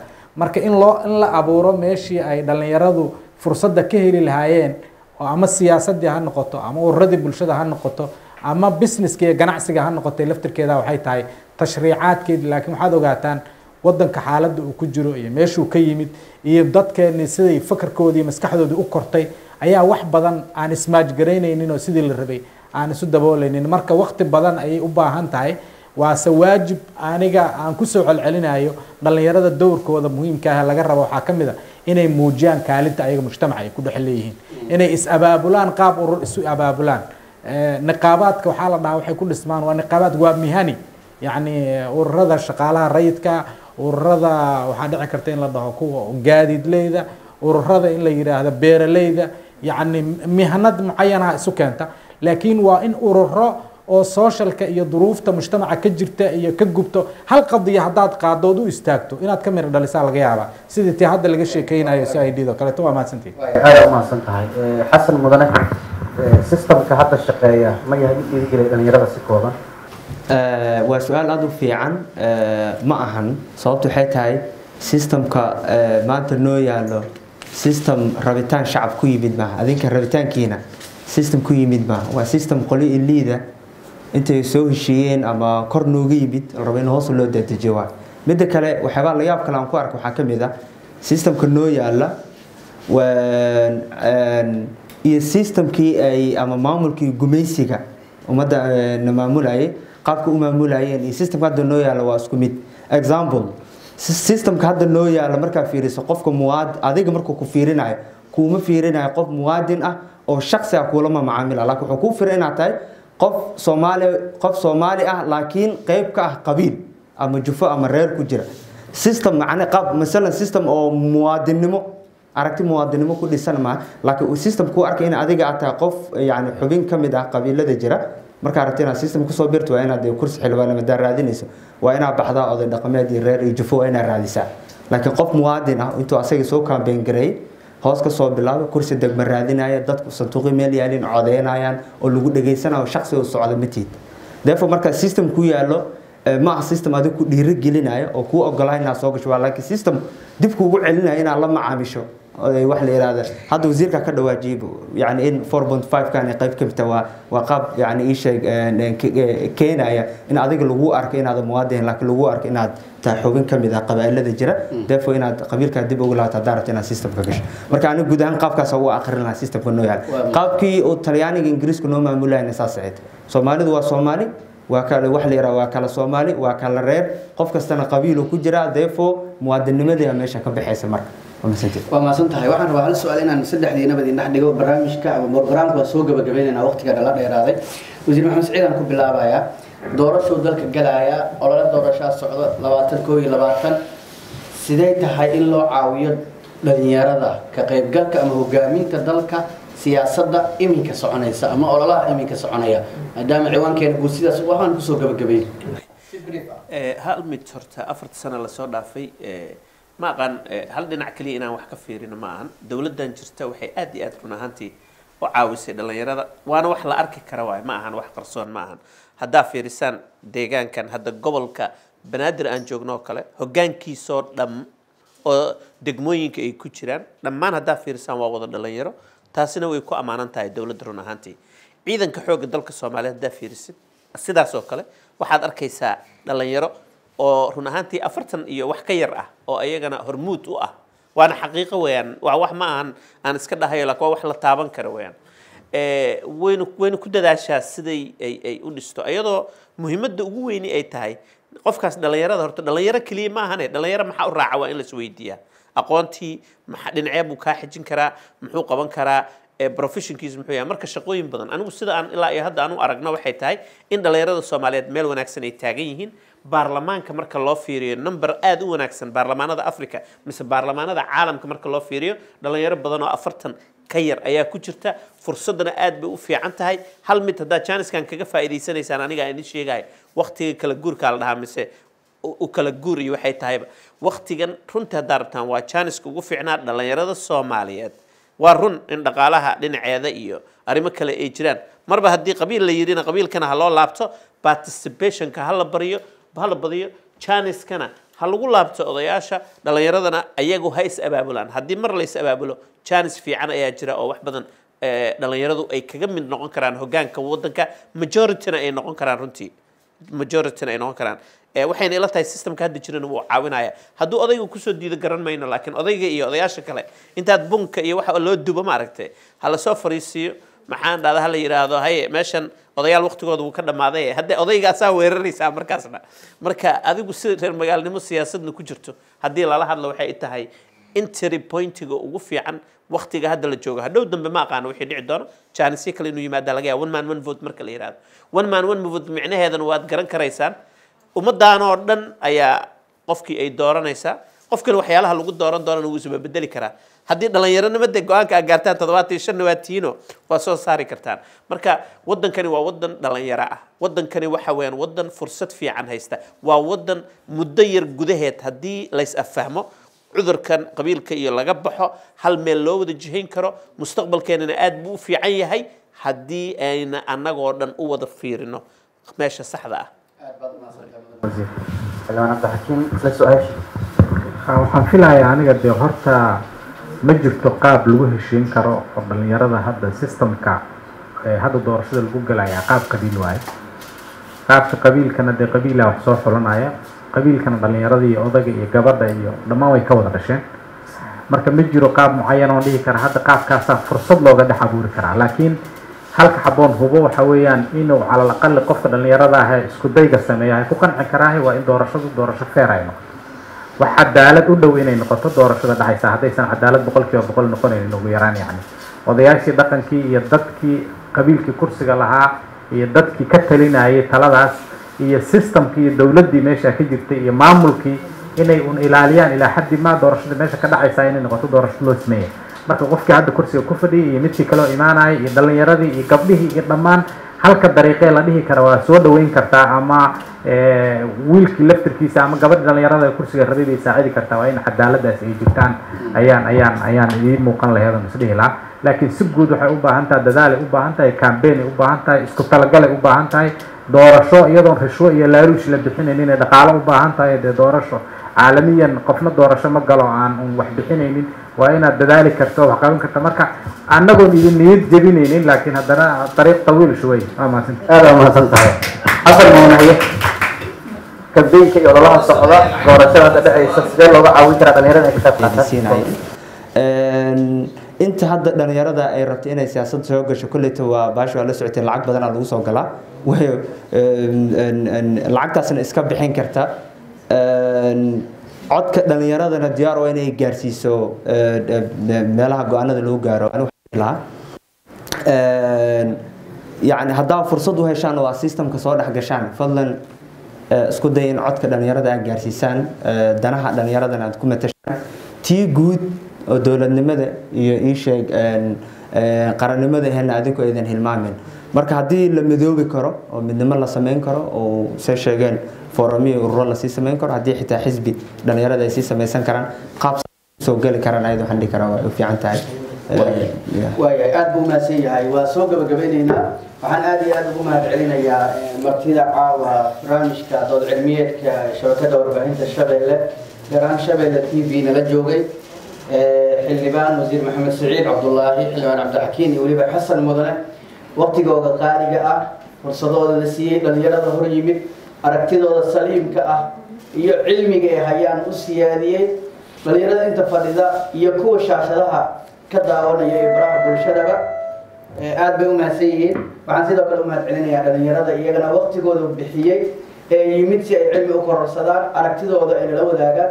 Inta hadda dhalinyaro ay tirada ee istaagtay dhammaantood waxa ay ka hadleen waa aragti wax dhisaysa aragti wax toosinaysa marka dadka aada la hadlaysaan waa aragtida aad u jeedinaysaan madaxda nala fadhida iyo kuwa daawanaysaba ilahay waxaan ka baryaynaa qalbigooda inuu si saliima ku geliyo.